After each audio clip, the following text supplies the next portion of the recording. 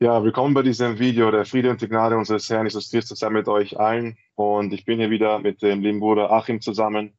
Wir wollen heute über die sehr aktuellen Themen sprechen, Israel und ja, der Krieg, der bevorstehende Krieg oder die Bodenoffensive.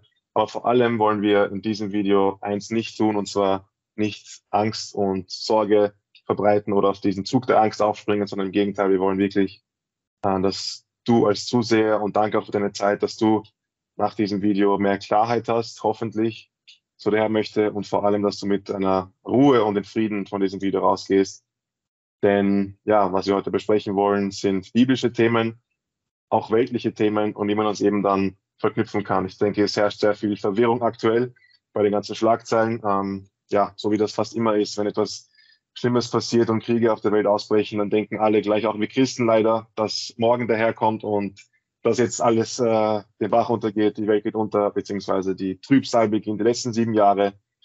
Und ja, wir denken, dass das vielleicht nicht das beste Denken ist.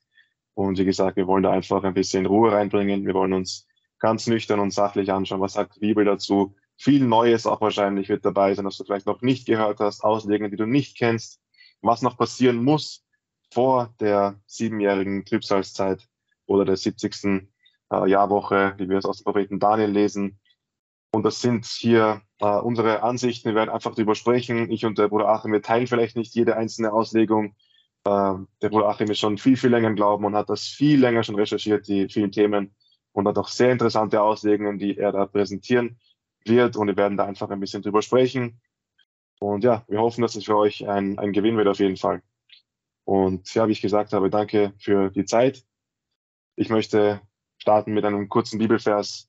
In 2. Timotheus 1, Vers 7 lesen wir, denn Gott hat uns nicht einen Geist der Furcht gegeben, sondern der Kraft und der Liebe und der Besonnenheit. Und das soll wirklich der Hauptpunkt sein von diesem Video. Und starten wir vielleicht am besten einfach mit der Bodenoffensive. Aber davor möchte ich noch eins klarstellen, und zwar, dass leider sehr viele Christen, auch ich, vielleicht auch du, dass wir oft weltliche Dinge, weltliche Pläne, man könnte es nennen ähm, Agenda 2030, The Great Reset und was man da so alles hört, dass wir das nicht vermischen dürfen mit der biblischen Prophezeiung. Und oft sind Christen viel mehr auf solche Sachen konzentriert und fokussiert, als äh, auf das, was in der Bibel steht. Die Bibel ist oft nur so nebensächlich. Oder es entsteht eben ein absolutes Chaos äh, im Kopf und im Leben von vielen Christen, weil sie nicht wissen, wie die aktuellen Geschehnisse einzuordnen sind. Genau, das wollte ich noch unbedingt dazu sagen. Und die Zeitstempel wirst du in der Videobeschreibung finden oder in den Kommentaren dann angepinnt, weil es wahrscheinlich ein längeres Video werden wird. Natürlich würden wir empfehlen, das alles anzuhören, aber wenn dich etwas besonders interessiert, dann kannst du dich gerne daran orientieren und dann einfach dorthin springen, wo es dich ja vielleicht am ehesten interessiert. Genau, ähm, gut, dann starten wir vielleicht mal mit der Bodenoffensive. Ich werde jetzt nicht oder wir werden jetzt nicht darauf eingehen, was passiert ist. Ich denke, das wisst ihr alle. Bald sollte die Bodenoffensive starten. Jetzt ist rausgekommen, dass es sich verzögern wird. Heute ist der, äh, der 17. oder 16. 16. Ähm, Oktober. Und ja, aktuell ist der Stand, dass es sich verschieben wird wegen dem Wetter, aber jetzt auch noch wegen dem Präsidentenbesuch. Äh, Joe Biden hat zugesagt, dass er nach Israel reisen wird und ja, dort einen Besuch abstattet. Das heißt, es wird sich ein bisschen rauszögern. Und oder was, was sagst du zu der Bodenoffensive und vor allem, was denkst du, könnte danach passieren?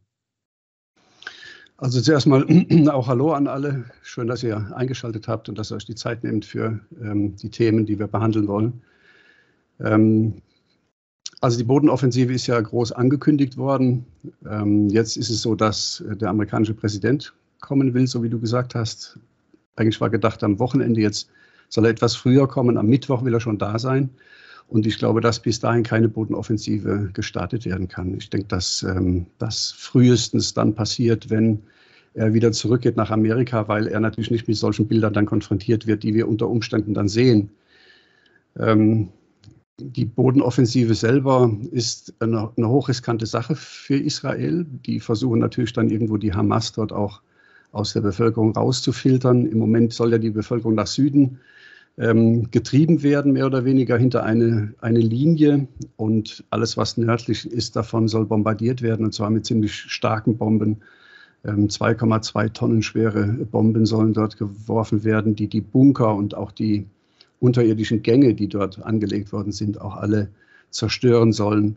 Was ich mir vorstellen könnte, wie das weitergeht, ähm, wenn man den, die nördliche Hälfte vom Gazastreifen so ähm, bearbeitet hat, ähm, dann könnte ich mir vorstellen, dass man vielleicht die ersten Frauen und Kinder aus dem Süden wieder durch diese Grenze, die man dann zieht, nach Norden lässt und auch mit humanitären Hilfsmitteln, äh, dann Hilfsgütern versieht. Und dann vielleicht die ersten, ähm, die man schon kennt und die ähm, unauffällig sind und dass man Stück für Stück dann auch die Männer nach Norden lässt und unter Umständen die Hamas-Mitglieder nicht durch diese Grenze lässt, und, sondern die im Süden belässt und dann halt mit denen verfährt, so wie der israelische Staat das angekündigt hat. Dann hätte man den Gazastreifen von der Hamas, von der Hamas befreit. Ja. Ob das so kommt, das ist eine Vermutung von mir. Ob das so kommt, weiß ich nicht genau, aber sonst würde es für mich keinen Sinn machen, warum man die ganze Bevölkerung nach Süden äh, in den Gazastreifen konzentriert. Ja. Und dann ist die Frage, wie es danach dann weitergeht. Ähm, die große Gefahr ist natürlich, dass der Iran sich irgendwann einschaltet und dass, der, äh, dass die ähm, äh, Hisbollah von, vom Libanon dazukommt, dass Syrien sich einschaltet und die umliegenden arabischen Länder, speziell äh, äh islamisch geprägten Länder, die sind natürlich, die haben natürlich eine Bevölkerung, die das auch sehr aufgewühlt beobachtet. Und da ist die große, große Gefahr, dass die alle zusammen auf Israel dann irgendwann losgehen. Es kann aber auch durchaus sein, dass die ganze Sache sich nochmal wieder entspannt. Ja, also es ist beides möglich. Es kann einen sehr langen Krieg geben. Das ist das, was man von Israel hört. Ja, auch Netanyahu stimmt ja die Bevölkerung darauf ein. Aber die Bibel sagt eigentlich, dass es nochmal eine friedliche Phase geben wird. Ob das jetzt schon soweit ist, das muss man sehen. Aber die Bibel spricht davon, dass es äh, Frieden werden wird, wenn auch ein, ein, trügerischer Frieden. Aber es muss nochmal eine Phase eintreten, wo eine Entspannung kommt und auch Frieden ist im Land. Das erwarte ich eigentlich von der Bibel her. Da gibt es auch Bibelstellen zu. Mhm. Ich würde ja eigentlich der, ich sage mal, der Angst und Panik, oder nicht Panik, aber der Angst auf jeden Fall komplett widersprechen, ja. die sehr viele jetzt aktuell haben. Und alleine das sollte dich schon mal beruhigen. Ja, also was wir anhand der Bibel eigentlich sehen, ist, äh, wie du schon gesagt hast, ja, dass ähm, bevor der Antichrist kommt, dass da eine Zeit auch des Friedens sein wird. Und Israel war die letzten Jahre alles andere als im Frieden. Mhm. Ähm, also wir hatten da, allein vor zwei Jahren war es, glaube ich, oder eineinhalb ähm, äh, Jahren waren es, da gab es schon die letzten Raketenangriffe. Also auf keinen Fall ein Frieden. Äh, und ja, wie du gesagt hast schon, die Hezbollah, also Israel befürchtet, dass die Hezbollah angreifen wird und es gibt auch immer mehr Gefechte im Norden. Genau, der Iran hat auch gedroht, dass äh, wenn das im Gazastreifen quasi schlimm wird, dass sie dann sich auch einschalten werden. Wir wissen auch, dass die äh, Amerikaner ihre zwei, das größte Kriegsschiff, das sie haben, die äh, Gerald Ford, haben sie hingeschickt mhm. und die Eisenhower, glaube ich, ist es. Mhm. Ja, aber all das mag einen vielleicht ja, Angst machen. Aber wie gesagt, die Bibel sagt da etwas anderes. Und vielleicht denken wir jetzt wieder an den dritten Tempel ich denke, die meisten von euch haben auch mitbekommen, dass es das Ziel ist eigentlich der Juden schon einen dritten Tempel zu errichten. Und sehr viele Christen erwarten auch, dass dieser dritte Tempel unbedingt da sein muss. Also als ob die Bibel das eigentlich so Wort für Wort wiedergibt, dass das so sein muss. Ähm, über deine Videos und deine Arbeit und über unser letztes Gespräch habe ich eigentlich auch herausgefunden, dass das nicht unbedingt so sein muss. Ja, dass die Bibel da überhaupt nicht verspricht, dass ein dritter Tempel aus Stein und Gold wieder in Jerusalem stehen muss. Das steht da nicht. Das wünschen sich vielleicht die Juden. Und es ist auch wieder so ein Konfliktpunkt mit der Al-Aqsa-Moschee, die ja aktuell dort steht. Aber ja, vielleicht nur ganz kurz, Achim, warum denkst du, dass ähm, die Bibel das nicht wirklich hergibt? Und wie ist deine Beurteilung oder wie siehst du äh, den dritten Tempel und Jerusalem in der Endzeit? Also ich äh, bin auch äh, gerne bei dir, wenn du sagst, dass man da nicht unbedingt Angst haben muss und Angst haben soll. Ich habe hier auch so einen Vers hier aus Matthäus 24, Vers 6, da sagt Jesus auch, ähm, sehe zu und erschrecket nicht. Ja, er sagt, ihr werdet hören äh, Krieg und Geschrei von Kriegen. Ich habe die alte Lutherbibel, also ihr werdet hören von Kriegen und Kriegsgerüchten.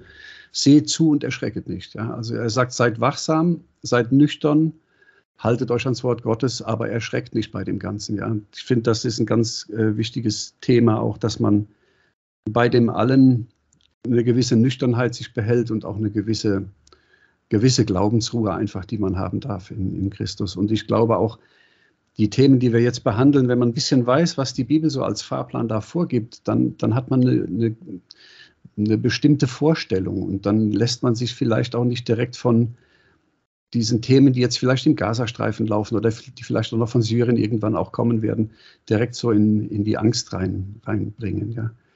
Ähm, Jesus sagt, äh, das muss zum Ersten alles geschehen, aber es ist noch nicht das Ende da. Also Jesus sagt auch, das kann sich auch hinziehen, aber er sagt, äh, erschrecket nicht. Ja. Eure, wie sagt er, alle Haare auf eurem Haupt sind gezählt. Ja. Äh, das sagt der Herr zu uns. Und so, denke ich, muss man auch die Zeit im Moment einfach einordnen. Ja. Ähm, wegen dem Tempel hast du gefragt. Ähm, also man hört es immer wieder im, im Internet und natürlich auch in Predigten. Ich selber habe das auch seit, seit über 30 Jahren in Predigten immer wieder gehört, dass die Juden in der Endzeit noch einen dritten jüdischen Tempel bauen wollen und dass dieser Tempel unbedingt da sein müsse, weil sonst die Prophetie nicht in Erfüllung gehen äh, könne. Ähm, das Problem ist, dass man im Neuen Testament, ich glaube, fünf Stellen insgesamt nur hat, die von einem Tempel sprechen oder von einem Tempel Gottes oder von, von einem Tempel des Geistes. Und immer wenn davon die Rede ist, also speziell wenn Paulus davon spricht, ähm, dass es einen Tempel des Geistes gibt oder einen Tempel Gottes, dann meint er immer die Gemeinde Jesu. Also wir sind ein Tempel im Heiligen Geist, ja, oder jedes einzelne Leib ist ein Tempel im Heiligen Geist. Und das ist durchgängig im Neuen Testament so. Ähm, der Gedanke ist der, dass man sagt, da wo Gott wohnt, da ist sein Haus. Wenn Gott durch den Glauben in unseren Herzen wohnt, wenn Gott seinen Geist uns gegeben hat, dann wohnt Gott in uns und dann sind wir sein Haus. Ja, da wo wir wohnen, ist unser Haus. Wenn Gott in uns Wohnung genommen hat durch den Glauben, dann ist jeder einzelne Christ ein Tempel, ein Tempel Gottes, ein Haus Gottes und die Gemeinde in Gänze auch ein Tempel Gottes, ein Haus Gottes. Ja, und das ist eigentlich auch äh, gängige Lehre durch die Christenheit durch die letzten 2000 Jahre. Ähm, das Problem ist jetzt, dass es insbesondere eine Stelle gibt, die etwas kompliziert ist. Und zwar sagt der Paulus im 2. Thessalonischer 2, dass der Antichrist sich in den Tempel Gottes setzt. Und jetzt hat man ein Problem, weil man sagt, ja gut, der Antichrist ist ja eine Person. Wie soll der sich jetzt in die Gemeinde Jesu reinsetzen? Oder wie soll der sich in jeden einzelnen Christen reinsetzen auf der Welt. Das funktioniert ja nicht. Also sagt man gut, man hilft sich dann mit einer Konstruktion und sagt ja gut, ähm, der Antichrist, der setzt sich in die Gemeinde oder in die Kirche ein, indem äh, unbiblische antichristische Lehren in der Kirche Einzug halten. Das ist meiner Meinung nach so eine hilfsweise ähm, Erläuterung. Ja. Ähm, andere, die eher aus der evangelikalen Richtung kommen, die sagen, ja gut, die Juden bauen in der letzten Zeit noch einen Tempel einen dritten jüdischen Tempel mit einem hohen Priester und wo geopfert wird. Und dann sind ja diese ähm, Red Heifers, diese roten Kühe, die gezüchtet wurden in Amerika, irgendwie auch genmanipuliert. Da versucht man ja irgendwie diese roten äh, Kühe nach Israel zu bringen, um diesen Tempeldienst wieder anfangen zu können, denn die braucht man dazu.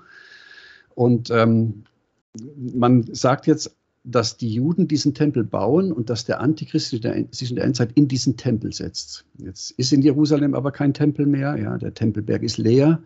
Da steht jetzt die ähm, Al-Aqsa-Moschee drauf und äh, auf der Stelle, wo der Tempel gewesen ist, da steht der Felsendom. Das heißt, die Juden können im Moment einen sogenannten jüdischen Tempel nicht bauen, ähm, selbst wenn sie wollten, und da ist jetzt die Überlegung, also wenn jetzt mal irgend so eine Rakete versehentlich auf den Tempelberg fliegen würde und würde dort die Al-Aqsa-Moschee oder die, ähm, den Felsendom zerstören, dass die Juden dann unter Umständen ihren Tempel dort bauen könnten.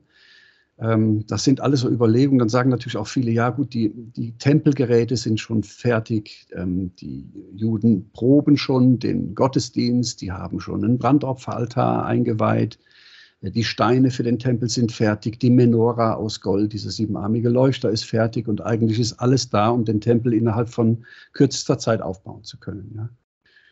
Ähm, ich denke, das sind, wie du gesagt hast, zwei verschiedene Dinge. Das eine ist das, was die Bibel als Prophetie uns vorgibt, und das andere ist das, was die Juden oder das Tempelinstitut in Israel plant. Ja.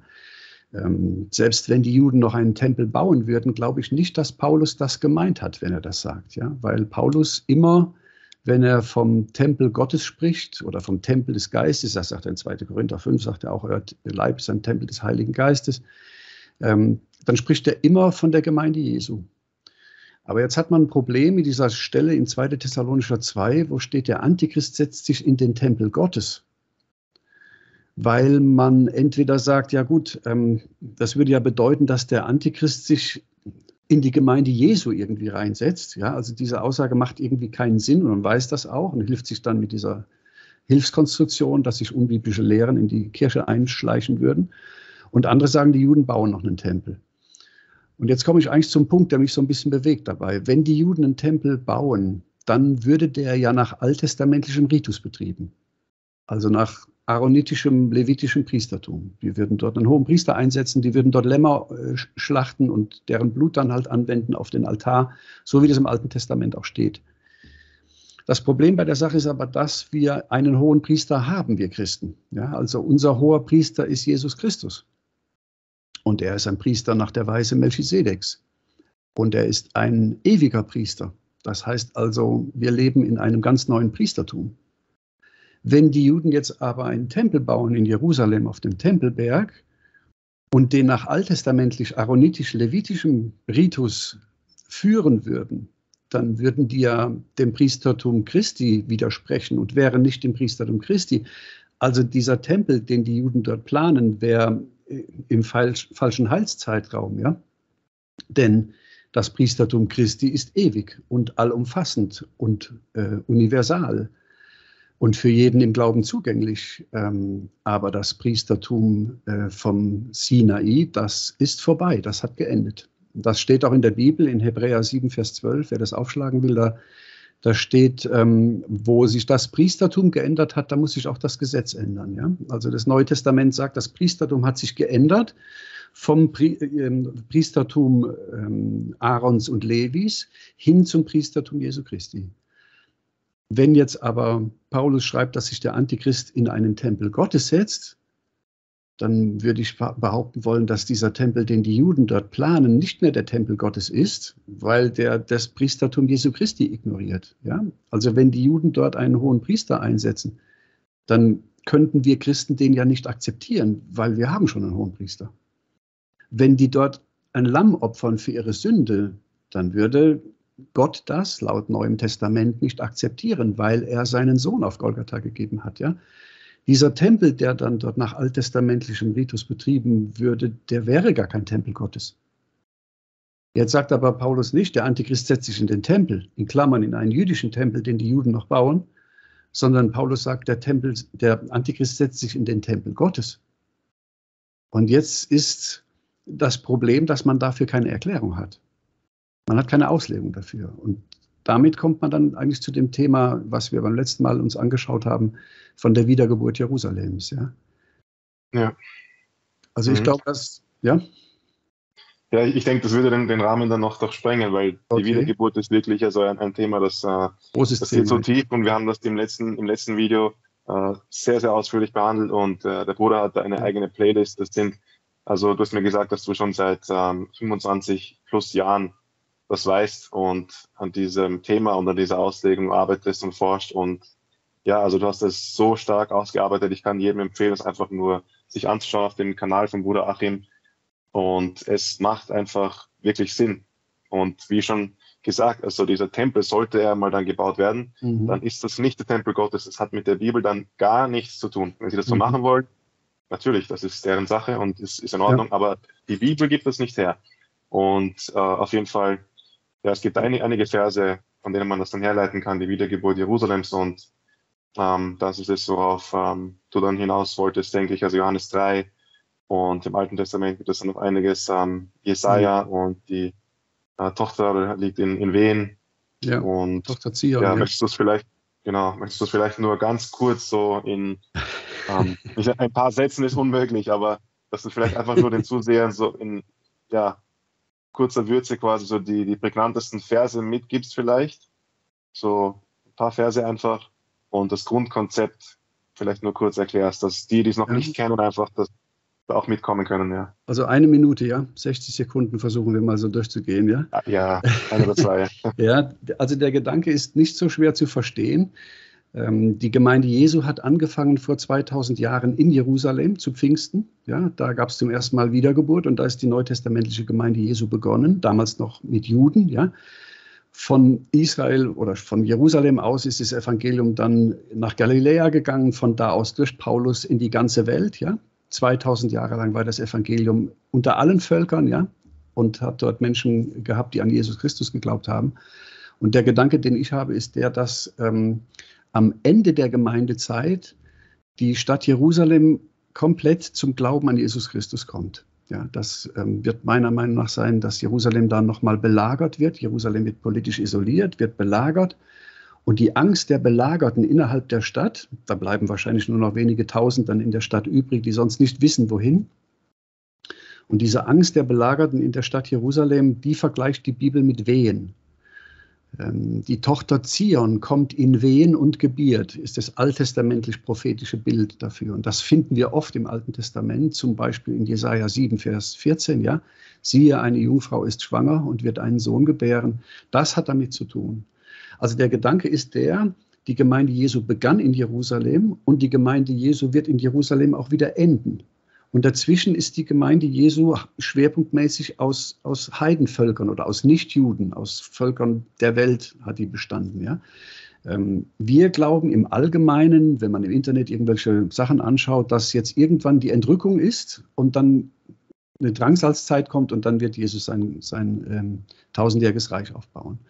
Ich glaube aber, dass Gott seiner Stadt, der Königsstadt Jerusalem, nochmal Gnade schenkt und dass auch die noch zum Glauben an Jesus Christus kommen wird, an einem bestimmten Tag. Und dann wäre die Gemeinde vollständig. Ja? Dann hätte die Gemeinde in Jerusalem angefangen, wäre zu den Völkern der Welt gegangen und am Ende der Zeit findet sie ihren Abschluss wieder in Jerusalem. Da schließt sich dann der Kreis. Und wenn der Tag kommt, an dem Jerusalem zum Glauben an Jesus Christus kommt, das wird meiner Meinung nach kein Prozess sein, ähm, so wie jetzt in Israel schon einige ähm, messianische Juden auch sind, die an Jesus glauben, sondern ich glaube, das wird ein, ein ganz bestimmter Tag sein, so wie Pfingsten auch an einem ganz bestimmten Tag gewesen ist. Ja? Das ist der Gedanke. Und wenn Jerusalem zum Glauben an Jesus kommt, dann wären in den Mauern Jerusalems gläubige Menschen. Wahrscheinlich ein Großteil davon werden ehemalige orthodoxe Juden vielleicht auch sein, aber die glauben an Jesus. Und bis dahin wird auch keine Entrückung gewesen sein. Ja? Warum? Naja, weil die Wiedergeburt der Stadt Jerusalem noch zur Gemeinde Jesu dazugehört. Und die Gemeinde Jesu ist nicht zerteilt. Also es gibt nicht zwei oder drei Entrückungen, wo die Gemeinde teilweise entrückt wird, sondern wenn die, wenn die Stadt Jerusalem zum Glauben an Jesus kommt, findet die Gemeinde Jesu ihren Abschluss und dann kommt irgendwann auch die Entrückung. Bis zu diesem Tag, glaube ich, wird es keine Entrückung geben. Ja? Aber wenn die Stadt Jerusalem wiedergeboren ist und in der Stadt Jerusalem wiedergeborene Christen sind, dann sind die ja, wie wir auch, ein königliches Priestertum. Ja? Ähm, das würde bedeuten, dass dann in Jerusalem Priestertum ist. Und wenn man sich Israel vorstellen könnte, wie den Tempel oder wie die Stiftshütte, ja, also den Norden Israels als Vorhof, Juda als Heiligtum, Jerusalem als Allerheiligstes und der Berg Zion, der Opferaltar, auf dem Christus geopfert wurde, dann hätte man wirklich ein heiliges Land. Und wenn dann Jerusalem wiedergeboren wird, dann hätte man ja in diesem heiligen Land, in diesem Tempel Priesterschaft. Und ich glaube, dass diese Menschen, die dann in Jerusalem sind und an Jesus glauben, dass die der Antichrist töten wird. Weil Paulus sagt, der Antichrist wird in den Tempel Gottes gehen und sich dort verehren lassen. Ja? Wenn Jerusalem wiedergeboren ist am Ende der, der Zeit, dann ist Jerusalem ein Tempel Gottes. Und zwar physisch, sodass ein Mensch da hineingehen kann in die Stadt, aber auch vor allem geistlich, weil die Stadt Jerusalem wiedergeboren ist. Die Tochter Zion hat geboren, ja, hat Wiedergeburt erlebt. Das ist der Gedanke, der dahinter steht. Und ich glaube, dass Paulus diesen Tempel meint, ja, nicht ein Tempel, der noch aus Stein und Holz und Gold gebaut werden sollte auf dem Tempelberg, sondern die ganze Stadt Jerusalem wird dann Tempel sein. Und ähm, ich glaube, dass Paulus das wusste. Das ist jetzt so in so ganz dürren Worten mal ja, erklärt, worum es da ging. Und dass er mit den Thessalonischen darüber gesprochen hat Und ich glaube, wenn man von der Wiedergeburt Jerusalems weiß, dass diese Bibelstelle dann besser verständlich wird, als das bisher der Fall war. Deswegen lege ich so viel Wert darauf, dass man davon weiß. Ja. Das ja, ist so ein ganz also, mhm. kurzer Überriss, ja. Genau, ja. Also für dich als Zuhörer, wenn du das zum ersten Mal hörst, dann ich kann dich sehr gut verstehen und wir können dich sehr gut verstehen, wenn das für dich komplett fremd klingt. Deshalb möchte ich einfach nur wirklich ans Herz legen, da einfach vielleicht eine, ein Video vom, vom Bruder anzuhören, wo er das so, ich glaube, in so ungefähr 30, 40 Minuten hast du das auch mal zusammengefasst. Gibt es kurz Also das ist wirklich genau eine, eine Arbeit von 25 Jahren mit so vielen Bibelstellen, Bibelversen. Und für mich war das auch neu, aber ja, ähm, es, es ist wirklich drinnen. Also deshalb kann ich da einfach nur verweisen und wir müssen äh, weitermachen, weil wir noch viele Themen vor uns haben. Ja. Aber ja, vielen Dank schon mal dafür und das, ähm, das Thema zieht sich dann eigentlich auch, auch weiter. Ja, das kommt dann in sehr vielen äh, Themenbereichen vor äh, mhm. in Sachen Endzeit. Und genau, wollen wir vielleicht, also ich möchte noch ein paar Sachen sagen zur Bodenoffensive. Und zwar einerseits ähm, glaube ich, dass das auf jeden Fall ein Fleischwolf wird, wie auch vielleicht jetzt Bachmut oder ich möchte es nicht vergleichen mit ähm, Stalingrad, das wäre absolut übertrieben, aber ja, Bachmut vielleicht, ja. Also einfach ein Ort. Dieser mhm. Häuserkampf ist ja wirklich das Schlimmste, was du im Krieg haben kannst. Mhm. Und als ich das nur gehört habe, dass da Israel mit äh, 10.000, 100.000 von Soldaten rein möchte, dass um jede Ecke kannst du einen Scharfschützen haben, Minen, Sprengfallen, äh, alles Mögliche einfach. Ja. Also die können da auch einfach Bomben hinterlegen. Und ja, Selbstmordattentäter, jeder Zivilist mit einem Messer ist auch eine Gefahr. Also sehr, sehr ähm, schlimm auf jeden Fall. Und deshalb freue ich mich da überhaupt nicht auf die Bilder und Videos, die man da wahrscheinlich sehen wird in ein paar mhm. Wochen, mhm. wenn es zum Angriff kommt. Und wie es auch kommen mag, ob das eskalieren sollte oder nicht. Ich denke, dass da auf jeden Fall ein Plan dahinter ist. Ich denke, dass in der Politik und erst recht in der Weltpolitik nichts aus Zufall passiert. Und gerade wenn du dich ein bisschen informiert hast mit dem Ablauf, mit dem Angriff der Hamas, und vielleicht auch Bescheid weißt über äh, Mossad, den israelischen Geheimdienst. Also beim besten Willen kann ich nicht glauben, dass das ähm, ein Mishap, also ein, ja, wie soll ich sagen, mal passiert ist, dass sie überrascht wurden. Beim besten Willen nicht. Das ist nur meine persönliche Meinung. Jeder hat da natürlich, äh, kann da frei entscheiden. Aber es fällt mir sehr schwer, das zu glauben, einfach, weil das eine der besten Geheimnisse der Welt ist. Die haben das seit über einem Jahr geprobt. Die Informationen sind frei zugänglich. Und selbst ähm, ja, die ganze Bevölkerung in Israel kann es nicht ja. fassen, sind entsetzt ja. darüber und viele auch Mitarbeiter der Armee äh, ja, sprechen darüber, dass zum Beispiel der Gazastreifen einer der bestbewachtesten Orte der Welt ist. Ja, Kameras, Bewegungssensoren, äh, Hitzesensoren, Drucksensoren, wahrscheinlich alles Mögliche ist da dabei. Da wird jede kleinste Maus registriert und eine Taube, äh, die da irgendwie drüber fliegt, wird da registriert. Und das dann, ich glaube, es waren sogar bis zu 2000 Terroristen über Luft, Land und sogar übers Wasser durchdringen können und dass keine Antwort von der israelischen Armee kam für, ich glaube, Stunden. über vier Stunden, über ja. drei oder vier Stunden ist für mich, ich, ich sage da einfach gar nichts dazu. Ja, da kann sich jeder seine eigenen Gedanken machen. Äh, so viel nur dazu. Ähm, was das dann bedeutet, im Endeffekt, was ändert Der Angriff ist äh, passiert, aber die Frage ist, du hast das so schön gesagt äh, auf Telegram, äh, zuerst hatten wir das C ja. und dann hatten wir U, die Ukraine, jetzt haben wir I, Israel und CUI äh, bedeutet dann Cui. Und vielleicht kennst du den Spruch Cui Bono. Äh, das bedeutet so viel wie, ja, wem, wem dient es oder wer hat den Benefit davon? Bono, ähm, ja, wem dient das? Und da kann man dann seine eigenen Gedanken sich machen. Auch mit dem dritten Tempel eben. Aber das sind alles nur Gedankenspielchen. Wir wollen uns jetzt hier auf die Bibel ähm, beziehen und was die Bibel dazu sagt. Und dazu wollen wir jetzt wirklich mal äh, kommen und auch wirklich tief eintauchen. Wir haben da ein paar Themenpunkte, dass du vielleicht nur eine, eine Vorschau hast, eine kleine. Und zwar wollen wir kurz vielleicht drüber sprechen. Der Antichrist soll in einer Zeit des Friedens kommen. Haben wir aktuell Frieden? Definitiv nicht. Da wollen wir einfach dir ein paar Bibelverse vielleicht zeigen.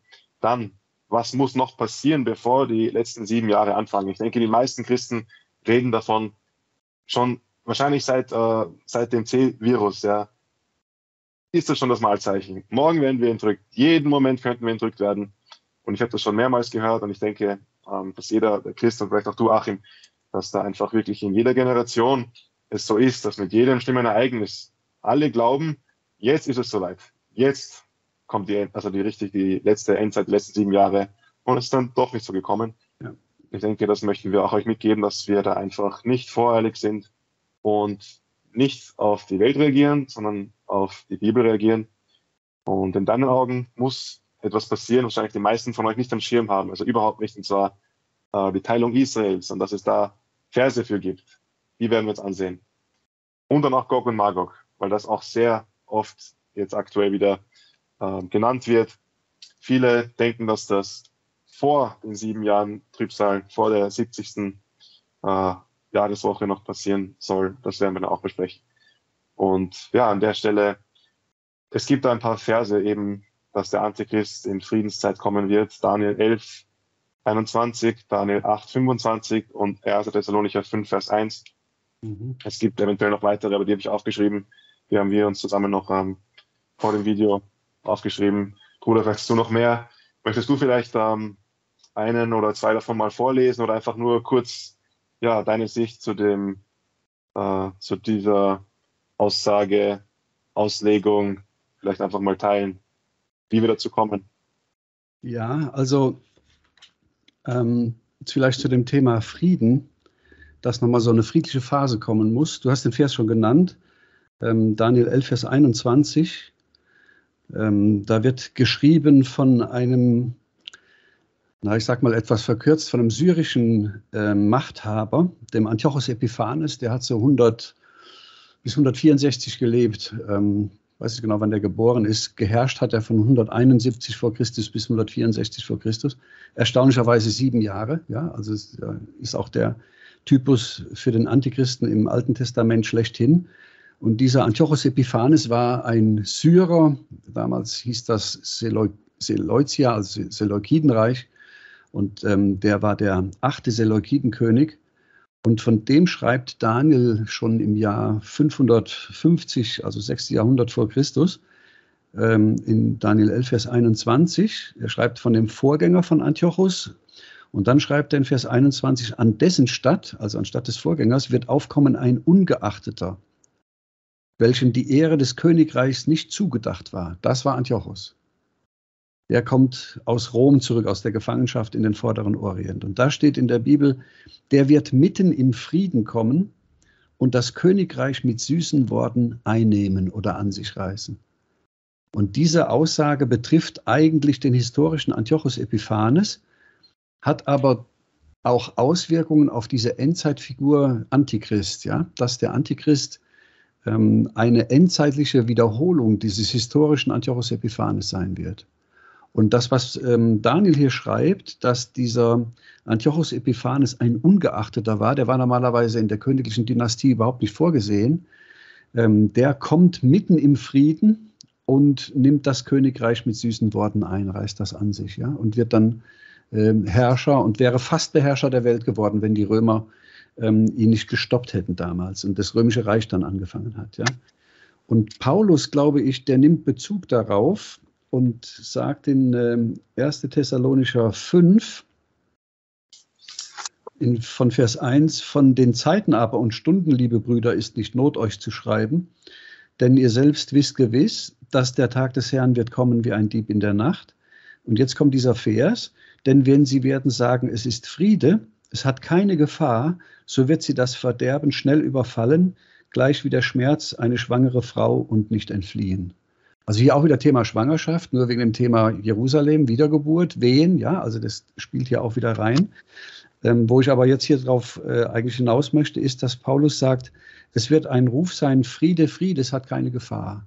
Und ich glaube, dass Paulus auf diese Stelle in Daniel 11, 21 ähm, abhebt und die den Thessalonichern erklärt hat und sie hier nochmal daran erinnert, an die Bibelstunden, die er da in Thessaloniki gehalten hat ähm, und sagt, da wird ein Ruf sein, Friede, Friede, es hat keine Gefahr. Und dann geht es unerwartet und abrupt los. Das ist die Perspektive, die der Paulus hatte.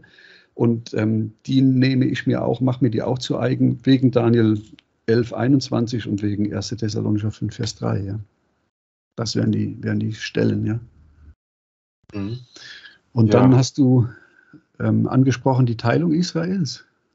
Genau, ja. Das ist ein, ein großes Thema, ja. Mhm. Sollen wir da schon starten mit? Gerne, ja. Ja. Also das ist etwas, was ich auch noch nie gesehen habe in der Literatur bisher. Und äh, ich habe jetzt auch mit einigen Pastoren darüber gesprochen, auch Pastoren, die aus Israel sind. Ähm, und habe auch einige Videos dazu gemacht, weil das für mich auch ähm, neu gewesen ist.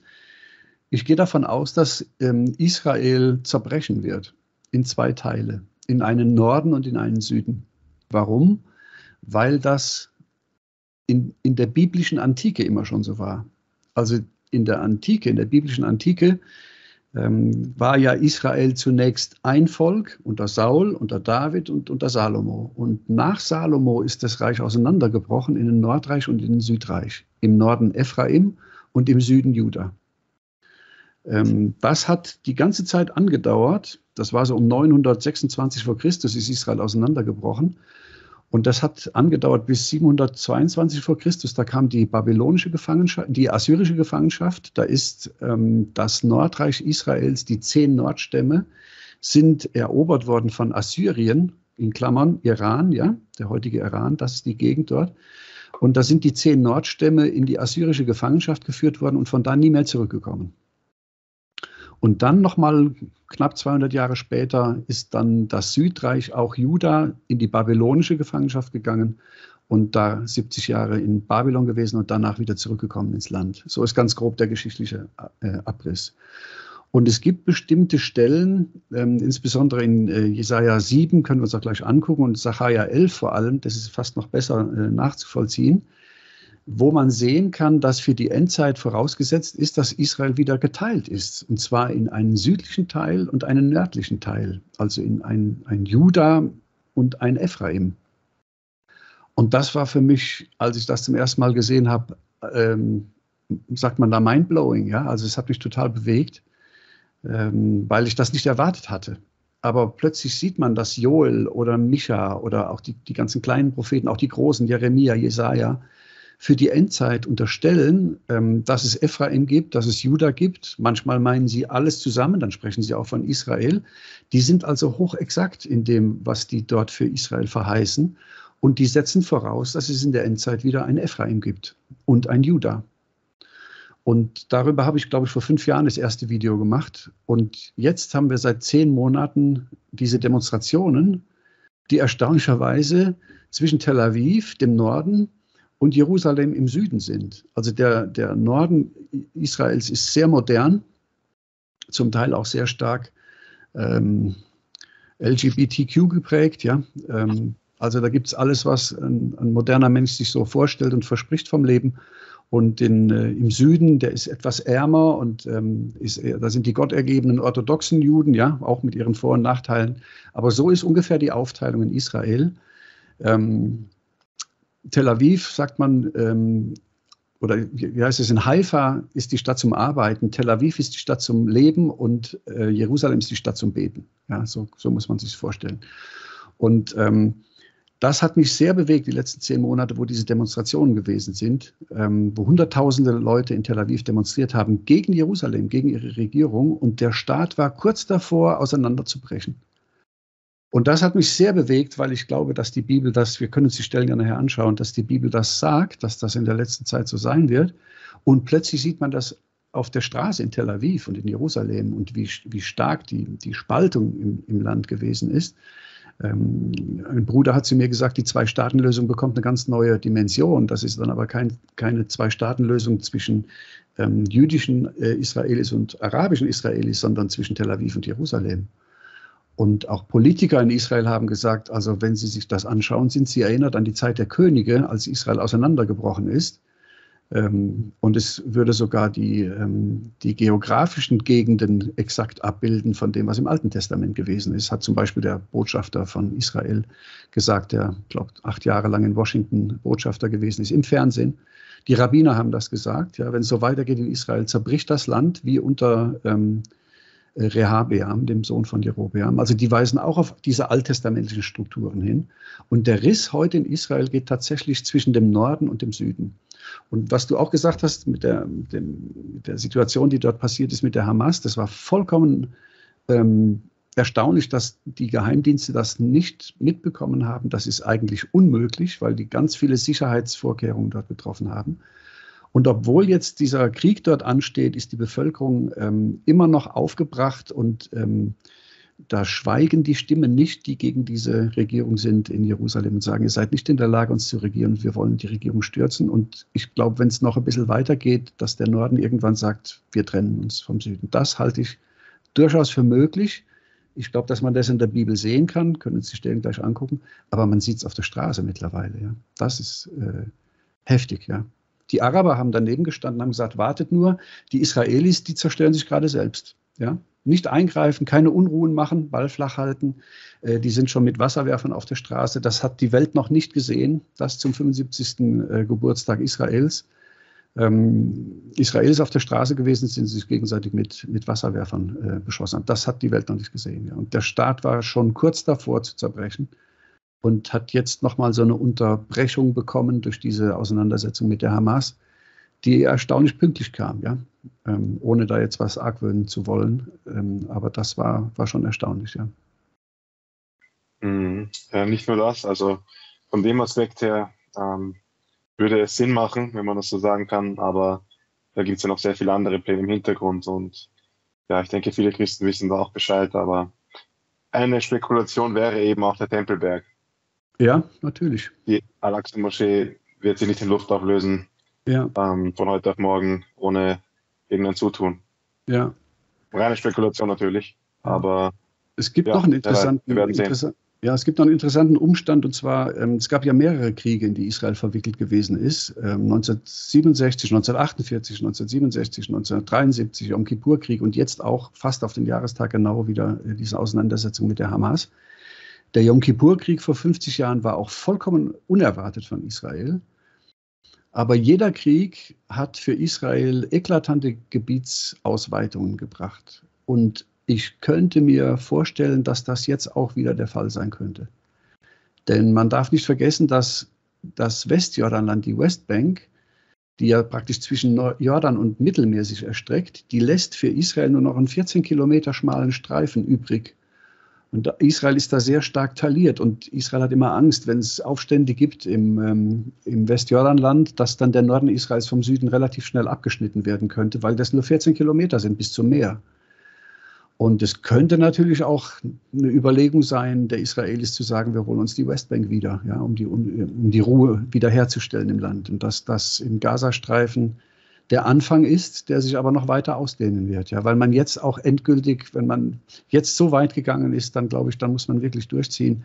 Vor allem Netanyahu, weil wenn er jetzt keinen Erfolg erzielt, dann ähm, wird er wahrscheinlich abgewählt werden oder die Regierung bricht auseinander und vielleicht muss er sich sogar vor Gericht verantworten. Ja. Also der muss einen großen Erfolg jetzt beibringen. Und da könnte ich mir fast, also ich halte es im Bereich des Möglichen, dass man die Westbank wieder komplett repatriiert da wo die Siedler jetzt auch sind. Ja. Ich weiß nicht, wie du denkst, aber könnte ich mir vorstellen, dass das eine Sache ist. Es war, waren immer Landgewinne. Immer wenn Israel Krieg hatte, waren eklatante Landgewinne für das Land. Und die Westbank fehlt Israel eigentlich noch zu seinem Glück. Ja. Ist ja zentral Israel, Galiläa. Mhm. Ja, also meine ja, hm? Variante, ja. Auf jeden Fall, ja. Das halte ich auch auf jeden Fall für eine Option. Ähm, meine ersten Gedanken, als ich äh, das mitbekommen habe über die Medien jetzt von dem ähm, Angriff der Hamas und dann eben, als ich vor allem gehört habe, dass sie den Krieg erklärt haben und jetzt reingehen wollen, da war mein erster Gedanke natürlich wahrscheinlich bei euch auch als Zuhörern, bei den meisten, okay, es eskaliert komplett. Also jetzt kommt der große weltweite Krieg.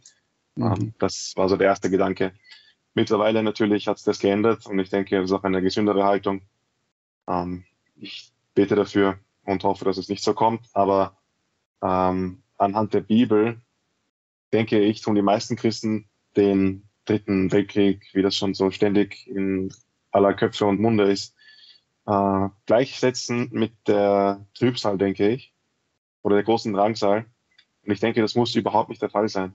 Mhm. Ähm, das ist mir jetzt auch eigentlich so die letzten Tage klar geworden.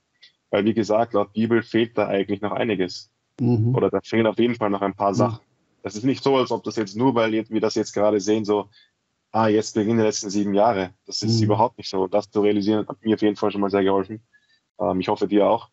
Und ja, was da auch immer jetzt kommt oder kommen mag, ja, ob dann der Iran auch aktiv wird und es zum Krieg zwischen Israel und dem Iran kommt. Ich denke persönlich, dass wenn es zu einem Krieg kommt, dass der auf jeden Fall einige Zwecke erfüllen soll. Ich denke da dabei an den Tempelberg.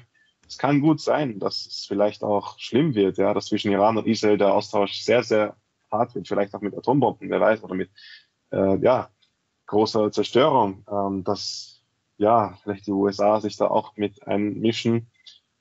Wer weiß. Ja, aber ich denke, dass es sehr kurz sein wird, wenn, wenn überhaupt, sehr begrenzt weil man darf ja nicht vergessen, dass die gewissen Mächte ähm, im Hintergrund, die ihre Agenten und ihre, äh, ihre, ihre Pläne, sage ich mal, durchführen, dass das ja nicht im Sinne derer sein kann, dass die Welt zerstört wird oder dass ganze Länder in Schutt und Asche liegen. So, das kann ich mir einfach beim besten Willen nicht vorstellen.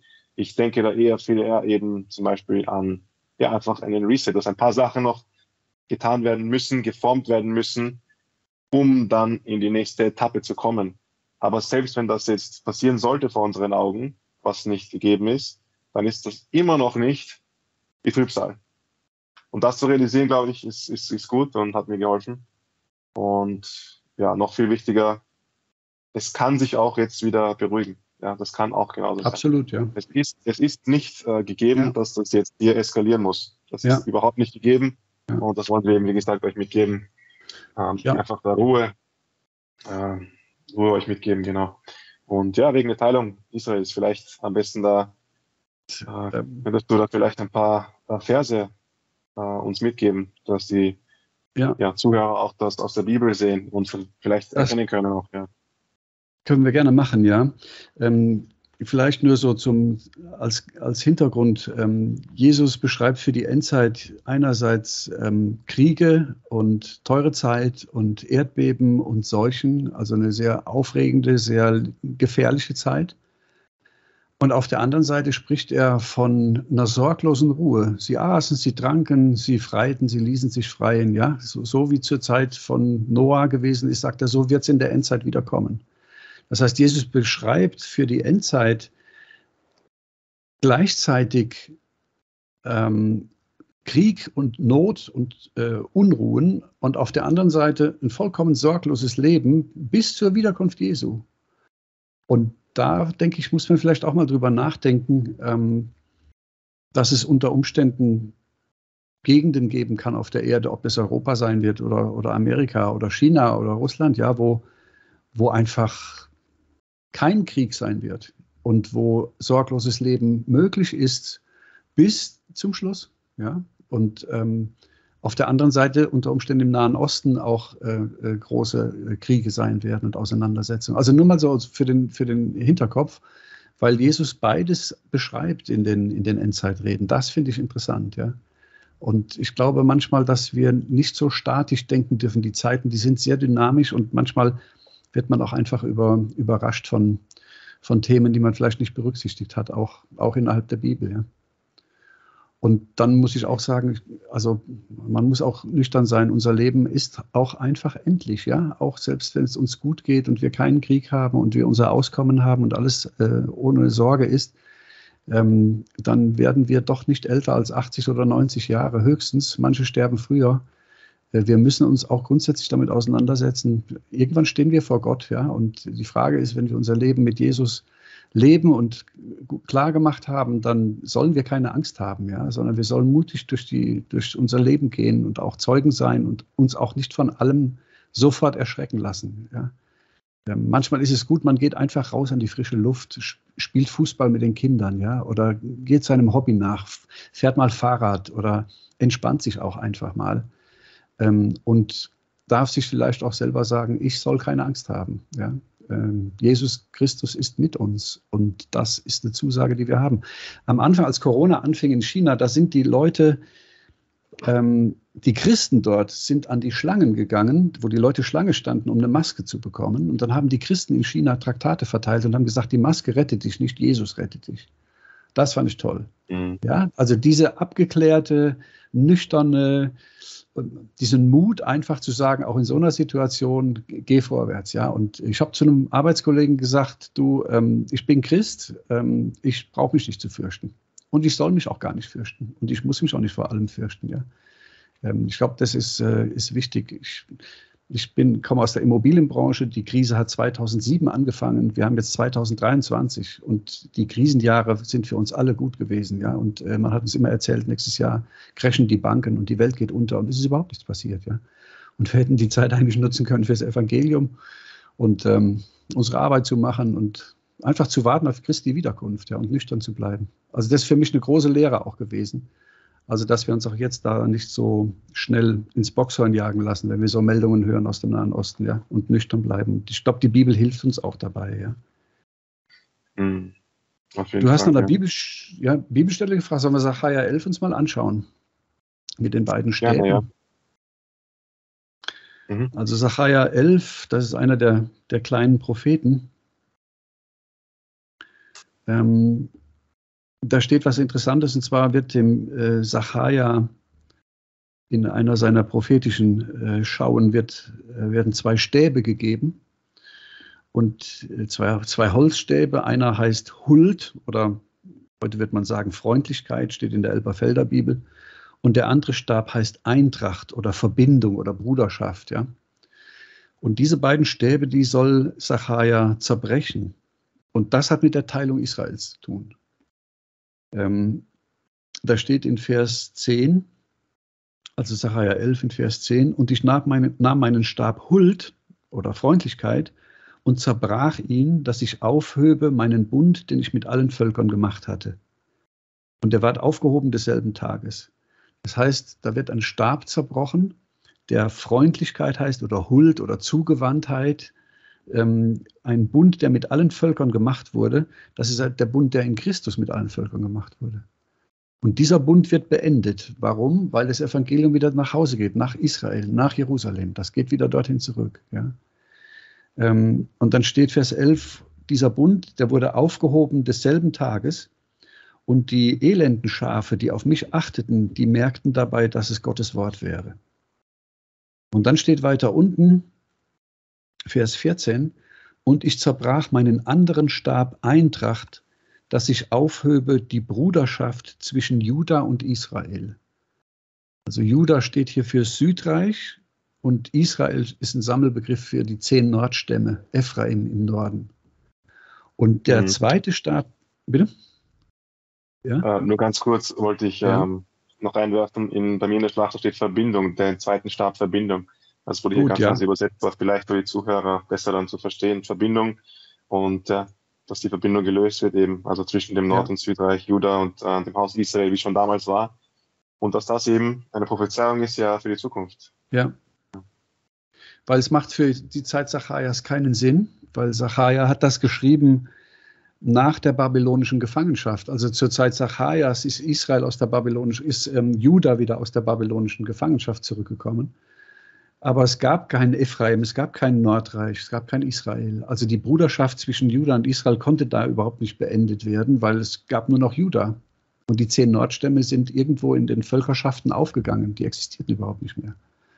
Aber wenn man das jetzt für die Endzeit sich vorstellen würde, dann könnte man daraus zumindest mal einen Indiz ableiten, dass scheinbar zwischen dem Norden und dem Süden die Bruderschaft oder wie hast du gesagt, Eintracht oder wie sagt Schlachter? Verbindung, Verbindung, Verbindung. steht in der Schlachter, ja. Ja, mhm. das ist ein schöner Begriff, ja. Dass die Verbindung zwischen Norden und Süden gelöst wird, dass die, dass die aufhört. Ähm, und dass man daran zumindest mal so einen Hinweis hat darauf, dass sich scheinbar zwischen dem Norden und dem Süden etwas, dass da etwas zerbricht. Und das meine ich, dass man das heute äh, sehen kann, ja zumindest schon diesen Haares, der da anfängt. Und, und selbst während des Krieges jetzt, ja, wo Bodenoffensiven äh, anstehen, demonstrieren die in Tel Aviv gegen die Regierung. Also das ist unfassbar, ja, wie tief der Riss dort ist. Ja, mhm.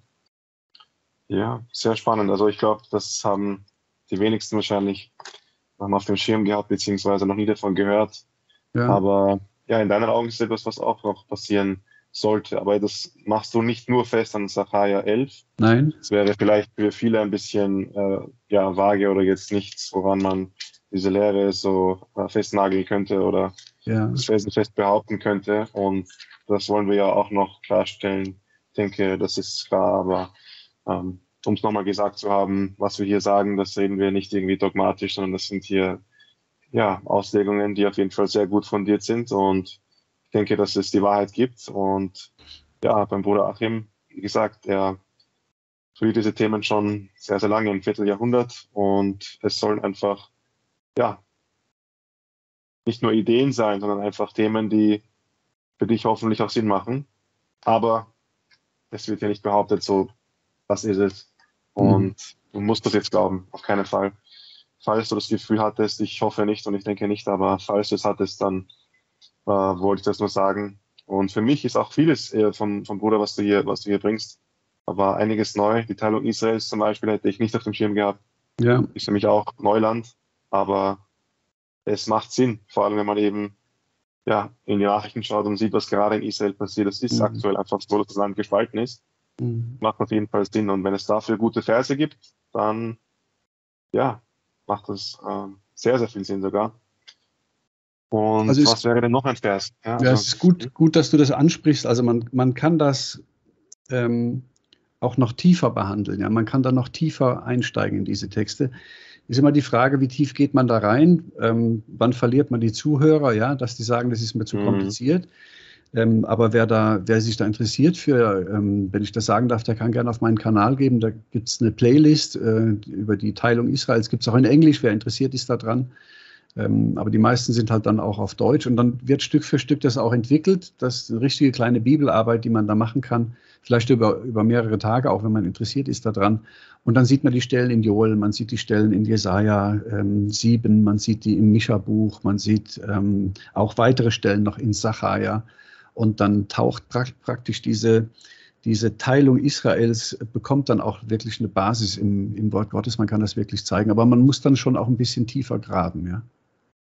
Und wenn ich das mhm. vielleicht so sagen darf, rein als Bild, wir haben am Anfang über diesen Tempel gesprochen, ähm, über diesen dritten Tempel und den Gedanken, dass man ja das ganze Land Israel auch wie einen Tempel sehen kann, ja, also mit Vorhof und Heiligtum und Jerusalem als Allerheiligstes und der Berg Zion als Altar, auf dem Christus geopfert wurde, dann hat man eigentlich das ganze Land Israel ist dann aufgebaut wie der Tempel ähm, wie der Salomonische Tempel oder wie die Stiftshütte, ja, die ja mitzog in Israel durch die Wüste. Und wenn man den Gedanken mal weitergeht und sagt, in dem Moment, wo Israel zerbricht, in einen Norden und in einen Süden, da entsteht der Vorhof des Tempels, weil der Norden Ephraim vom Süden abgetrennt wird. Das, dann wäre der Vorhof da. Dann wäre der Vorhof da, dann wäre das Heiligtum da, dann fehlt nur noch die Priesterschaft im Tempel. Und die kommt, wenn Jerusalem wiedergeboren wird. Und so spielen die Dinge ein Stück weit dann ineinander, ja. Und mit der Perspektive schaue ich mir auch an, jetzt Bodenoffensive und ähm, dieses Kriegsgeschehen in Israel und den Besuch von Joe Biden. Und äh, unser Bundeskanzler Scholz geht ja morgen oder übermorgen auch runter, ja. Ähm, da sage ich mir immer, ich glaube, nach dem, was ich aus der Bibel sehe, Israel muss zuerst zerbrechen in zwei Teile. Ich könnte, da bin ich sicher, ja, dass das so ist. Aber das ist ein Angebot. Das muss jeder für sich in der Bibel, wenn er Interesse hat, auch nachprüfen. Dann könnte ich mir vorstellen, dass ähm, die Westbank noch zu Israel zugeschlagen werden könnte, weil das historisch auch Israels Stammesgebiet gewesen ist. Und dann glaube ich, das ist der dritte Punkt, dass ähm, es einen Tag gibt, an dem Jerusalem zum Glauben an Jesus kommt. Das sind so die drei Punkte, auf die ich warte. Was jetzt da passiert an Unruhen, an Kriegen und an Kriegsgerüchten, ja, ähm, das mag einen vielleicht beunruhigen, soll es aber nicht, ja. Das, die, die Bibel schreibt da speziell auch nichts drüber jetzt, was im Gazastreifen da passiert. Die Dinge, auf die ich warte, ist speziell dieses Auseinanderbrechen Israels dann glaube ich, dann wird es konkret werden. Und wenn die Stadt Jerusalem an Jesus glaubt, ja. Was ein schöner Gedanke ist, ja. Dass auch die Stadt Jerusalem noch Jesus Christus finden darf, ja. Mm, auf jeden Fall. Äh, vielleicht wollen wir nach Gog und Magog noch, falls noch Zeit übrig bleibt, ähm, Daniel 8 vielleicht noch kurz durchgehen oder so. Okay. Vielleicht Daniel 7, 8 und 9 und vor allem 8, weil ich das, ja, das wäre ein bisschen viel, aber äh, vielleicht Daniel 8, weil ich da noch ein paar Fragen hätte. Äh, okay. Weil das aus meiner Sicht auch noch davor passieren sollte, könnte. Und ich da hätte noch ein paar Fragen, ja. Das wäre ja, vielleicht ja. noch, äh, wenn es ausgeht. Aber ja, vielleicht nur noch eine Stelle. Du hast vorhin Jesaja 7, glaube ich, erwähnt, dass wir so zwei Stellen haben zur Teilung Israels, weil Sacharja 11 ja. für die meisten ein bisschen wenig sein wird. Gibt es da noch eine Stelle vielleicht, wo man das sehen kann? Ja, es gibt noch mehrere Stellen. Man braucht da ein bisschen ähm, fast ein bisschen historische, äh, historischen Hintergrund. Ähm,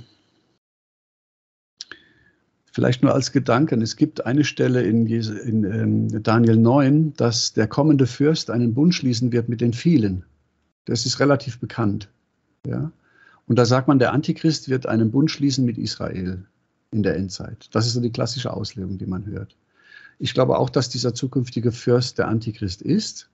Aber da steht ja nicht, dass er einen Bund macht mit, den, mit äh, Israel, sondern da steht, er macht einen Bund mit den vielen. Und jetzt ist die Frage, warum macht er einen Bund mit vielen und nicht mit Israel?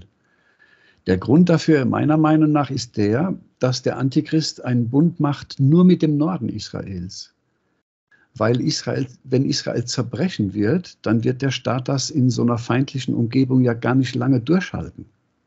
Das heißt, der Norden sucht dringend nach einem Bündnispartner und findet den in diesem zukünftigen Fürsten.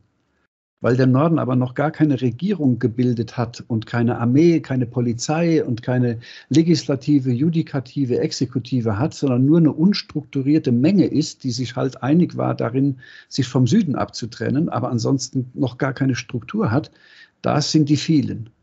Und der Antichrist macht einen Bund mit den vielen deswegen, weil der Norden von Israel abbricht und in kürzester Zeit ein Bündnis mit ihm eingeht. Und das ist nur eine unstrukturierte Volksmenge. Das ist gar kein Staat, in dem kein Staatsgebilde, weil die gar keine Zeit mehr dafür haben, einen Staat zu bilden. Also das ist so ein, so ein Gedanke, den man da auch haben könnte, wenn man über diese Trennung Israels nachdenkt. Ja. Mhm. Das ist ja. ein Punkt, ja. Aber das konnte ich jetzt noch nicht so ganz mit nachvollziehen, also weil für mich viele eher so, ja, mehrere also wirklich viele, viele Menschen einfach bedeutet, aber das ja. kann man auf jeden Fall auch so sehen. Du meinst ja, allem, als Anzahl, viele als Anzahl.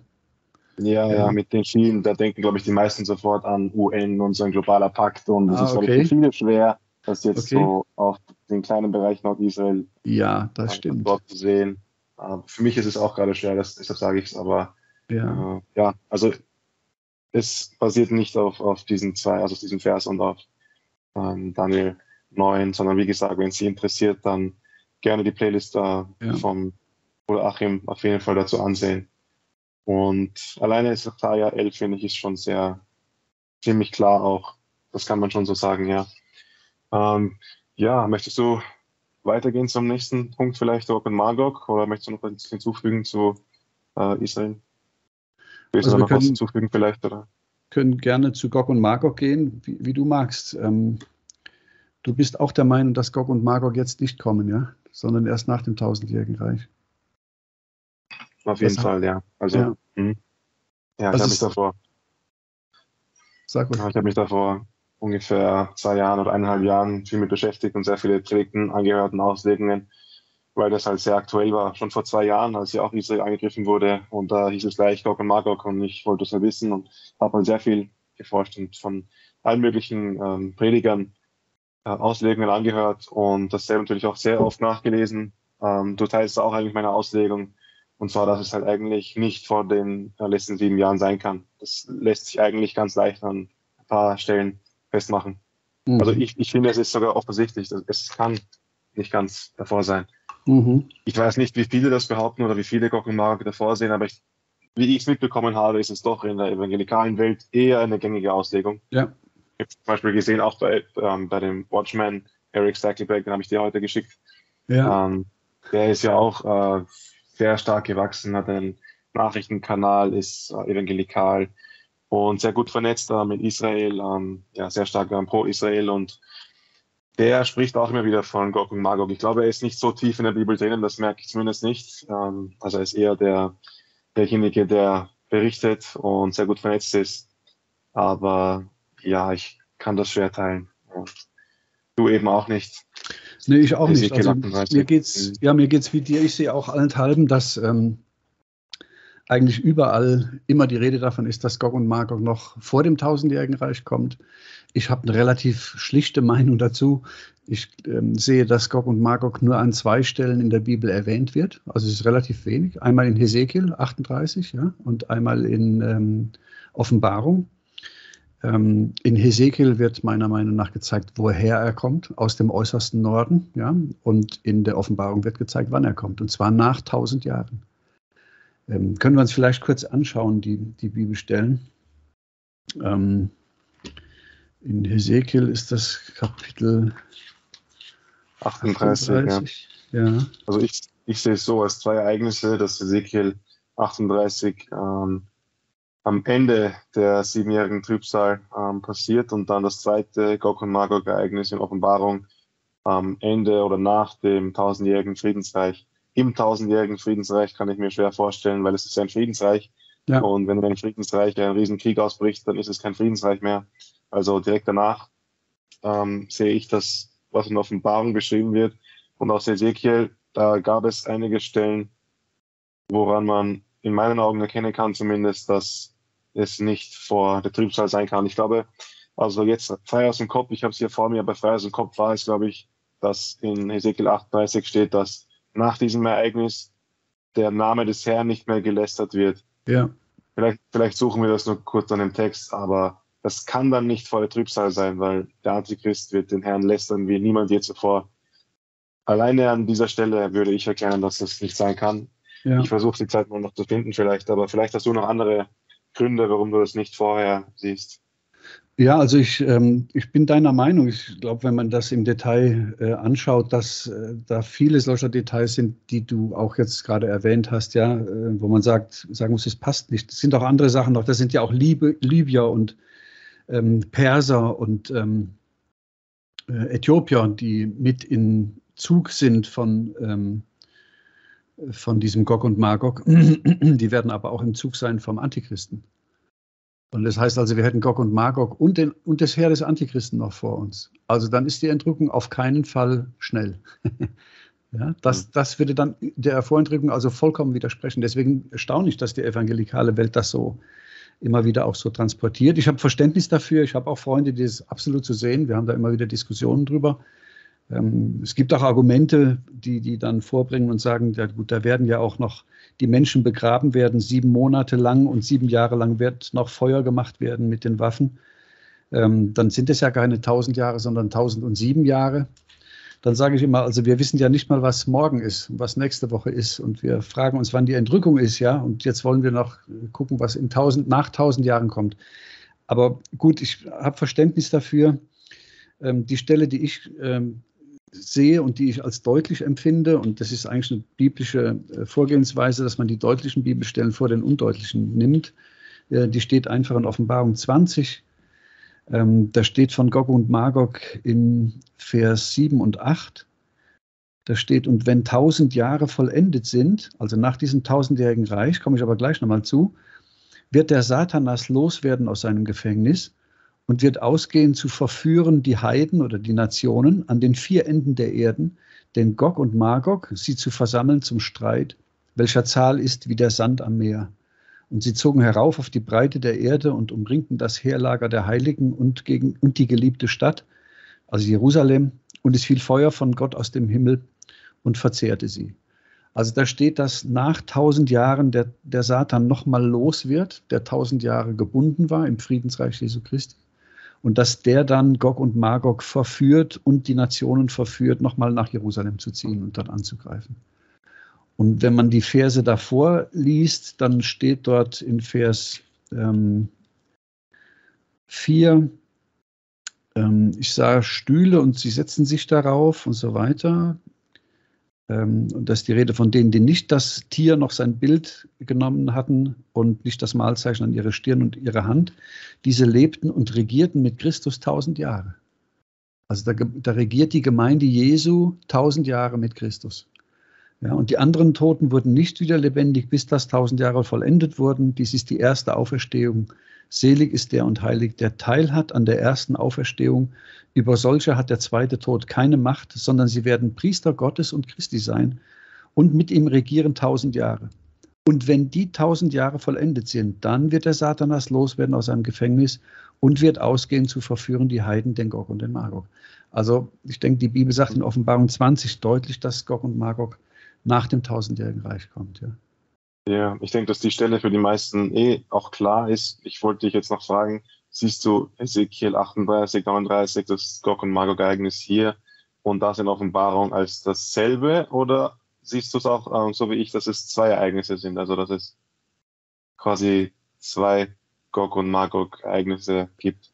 Also ich sehe es als ein Ereignis. Es gibt manche, die sagen, es wird sich nochmal wiederholen, aber ich würde es als ein Ereignis sehen. Siehst du es als zwei? Ja, ja, also ich hätte es als zwei gesehen, ja. Aber ja, also das, und, das würde jetzt dann wieder ein, ein Riesenthema aufmachen. Und ich bin jetzt aktuell nicht in Ezekiel, also in dem Thema voll drinnen, also könnte ich da jetzt gar nicht so aus dem Stegreif mit dir äh, okay. tiefgründig drüber sprechen. Aber ich habe den Vers gefunden, den ich ah, gut, vor ja, schön, Kopf hatte. Ezekiel, Ezekiel 39, Vers 7. Und ich werde meinen heiligen Namen offenbar machen unter meinem Volk Israel und ich werde meinen heiligen Namen künftig nicht mehr entweihen lassen. Ja.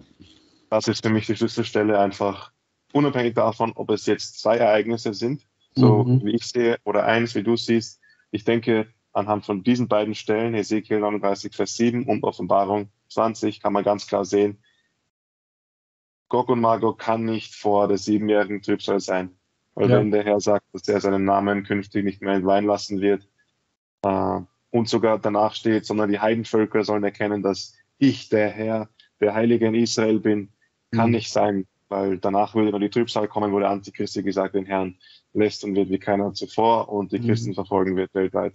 Mhm. Und das scheint auch keiner zuvor getan hat. Mhm. Ja, das sind für mich so die ganz klaren Stellen. Mhm. Ob das jetzt dann eben ein Ereignis ist oder zwei, das ist wieder ein anderes Thema. Das wäre ein Thema für ein eigenes Video oder. Warum nicht? Äh, ja. ja, ja, genau. Okay. Ja, super. Ähm, hast du noch was hinzuzufügen vielleicht zum Thema Gog und Magog? Ich überlege gerade, also ich weiß, wie gesagt, dass ähm, ähm, dass es da viele Meinungen zu gibt. Ich frage mich halt auch diese Stadt Hamona etc., ne, das sind ja alles Städte, die man nicht, nicht kennt. Meiner Meinung nach kennt man die deswegen nicht, weil die noch nicht gegründet sind. Die kommen erst noch. So wie Gott Kyros auch, den König Kyros auch 300 Jahre bevor er gekommen ist, schon erwähnt hat. Oder noch länger sogar, ne? Jesaja 45, Vers 1. Ähm, so glaube ich, ist es auch hier. Ähm, aber ich weiß auch, dass viele das anders sehen. Ich habe mich gefragt, wie kommt das überhaupt, dass sowas in der evangelikalen Welt so, so ähm, vorhanden ist? Und es gab natürlich eine Zeit, wo, wo wir den Kalten Krieg hatten, ja, und wo die ähm, Amerikaner natürlich auch alles versucht haben, äh, die Meinung gegen, gegen Russland irgendwo auch zu, zu manifestieren und wo man äh, unter Umständen das auch dazu verwendet hat, ja, in der evangelikalen Welt, Stimmung gegen Russland zu machen und zu sagen, das ist Gog und Magog, das sind die Bösen, äh, da kommt eine böse Endzeitschlacht und hat die dadurch irgendwie dann in diese Texte so beeinflusst. Ich finde es relativ deutlich, dass es einfach steht dann in Offenbarung 20, dass es halt auf keinen Fall vor der, vor der siebenjährigen Trübsalzeit sein kann. Ne? Und ähm, aber ich weiß, dass es viele anders sehen. Ich lasse es auch jedem unbenommen. Ähm, aber ich sehe zu viele Argumente, die dagegen sprechen. Auch der Vers, den du genannt hast. Finde ich einen ganz wichtigen Vers auch, ja. Ja. Okay, ja, dann wären wir mit den Punkten, die wir zumindest aufgeschrieben haben, mal vielleicht ähm, durch. Aber ja, ich hätte noch, was mir am Herzen liegen würde, wäre Daniel 8. Daniel 8, okay. Sonst, noch ein, sonst vielleicht noch ein Thema spontan, das wir noch anreißen könnten. Also was wir uns aufgeschrieben haben, haben wir, glaube ich, alles soweit mhm. abgehandelt, ja. Also ja. wenn, wenn du nicht müde bist oder die Zuschauer nicht, dann können wir gerne Daniel 8 uns anschauen. Mhm. Okay, ja, machen wir das. Ja. Okay. Muss auch gar nicht lang, muss auch gar nicht lange sein. Nur, ja, gut. Ähm, weil wir gerade bei dem Thema sind, eben was noch davor passieren muss, in meinen Augen. Ja. für mich äh, ist Daniel 8 auf die Endzeit bezogen, weil das ja mehrmals erwähnt wird. Und ja. wir haben uns ja auch schon ausgetauscht ein bisschen über Daniel 8. Ähm, ich bin mir jetzt nicht ganz sicher, zu welchem Schluss sie gekommen sind. Auf jeden Fall für mich persönlich anhand von, ich habe den Vers jetzt nicht direkt vor mir, aber es steht, glaube ich, zwei oder dreimal, siehe, dass dieses Gesicht sich bezieht auf die Zeit des Endes. Und ja. dann steht auch am Ende nochmal, dass dieses ähm, Gesicht, ähm, also diese Prophezeiung, in, ja. in ferner Zukunft liegt. Ja, aber öfters, für mich vor allem eben dieses zur Zeit des Endes. Und wie siehst du Daniel 8? Viele sehen das ja, und ich habe mal Videos gemacht früher, vor einigen Jahren, zu Daniel 8. Und da haben dann einige kommentiert, das wurde schon erfüllt unter Alexander dem Großen. Ähm, du teilst die Auslegen mit ähm, Antiochus Epiphanes als einem Prototypen oder Vorgänger Antichrist oder einer von den vielen Antichristen, aber sage ich mal dem, dem deutlichsten Antichristen, den im Alten Testament sehen. Und dass du auch einen, ich möchte nicht sagen Nachfolger, aber so, wenn man so möchte, das zweite Kommen des Antiochus in der Zukunft auch siehst. Ist es richtig? Also, dass ja. du, ja, dass er ein ja. Bild auf den zukünftigen Antichristen ist. Ja. Und ja, da will ich dich jetzt fragen, wie siehst du Daniel 8? Hat sich bereits erfüllt? Ist es eine zweifache Prophezeiung? Ich denke nämlich, dass einige Stellen in der Bibel sich doppelt erfüllen. Matthäus mhm. 24 zum Beispiel habe ich jetzt auch vor kurzem ähm, eine neue Sicht darauf kennengelernt, dass ähm, ja doch einige auch glauben, dass Matthäus 24 bereits erfüllt hat. Eventuell auch eine doppelte Prophezeiung ist, sich zum Teil erfüllt hat mit äh, oder bei der Zerstörung des Tempels, was mhm. eines der schlimmsten Ereignisse war für die Juden, wo eine Million äh, Juden durch die Römer umgekommen sind und der Tempel zerstört wurde, wie der Herr es prophezeit hat. Und es steht ja auch in, ich glaube auch in Matthäus auf jeden Fall, ähm, sagt der Herr ja auch, dass einige, die hier stehen, also die, diese Generation wird nicht vergehen, ehe das geschieht. Ja.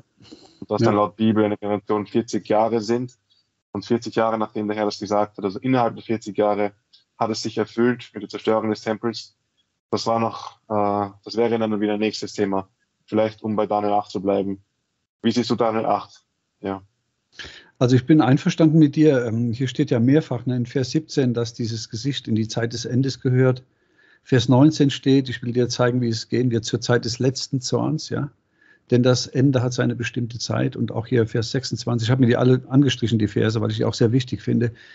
Ähm, das Gesicht vom Abend und Morgen, das dir gesagt ist, ist wahr, aber du sollst das Gesicht heimlich halten, denn es ist noch eine lange Zeit dahin. Ähm, also dieses, dieses äh, kleine Horn, von dem hier die Rede ist, ähm, ist, also um es ganz kurz zu machen, für mich ein Bild auf den Antiochus Epiphanes. Ich zeige gleich warum.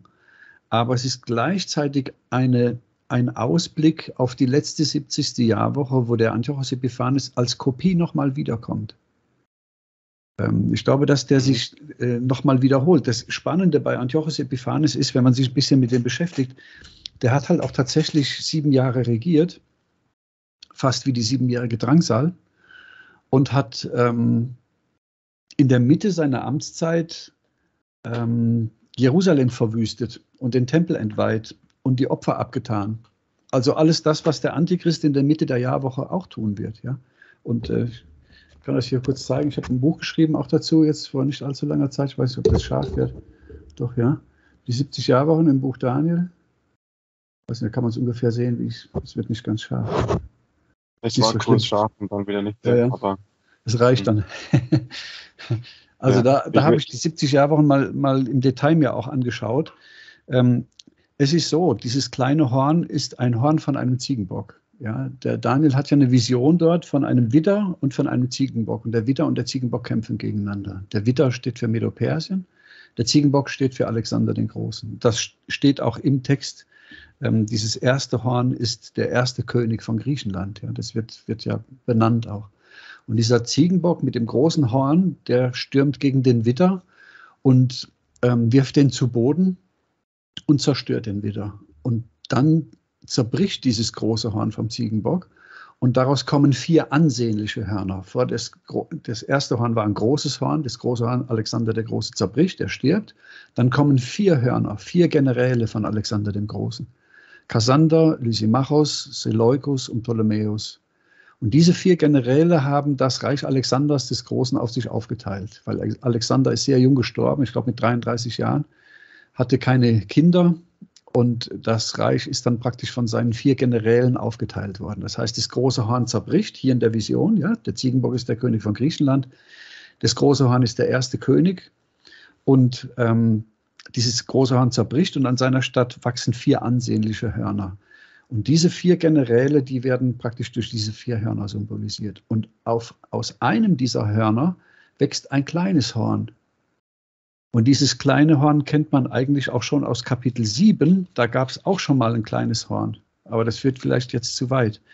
Ähm, diese vier Generäle, einer davon war der Seleukus, der erste, der hat das Seleukidenreich, Seleukidenreich gegründet. Und der letzte König vom Seleukidenreich war der Antiochus. Also wir sind wieder bei Antiochus. Ja?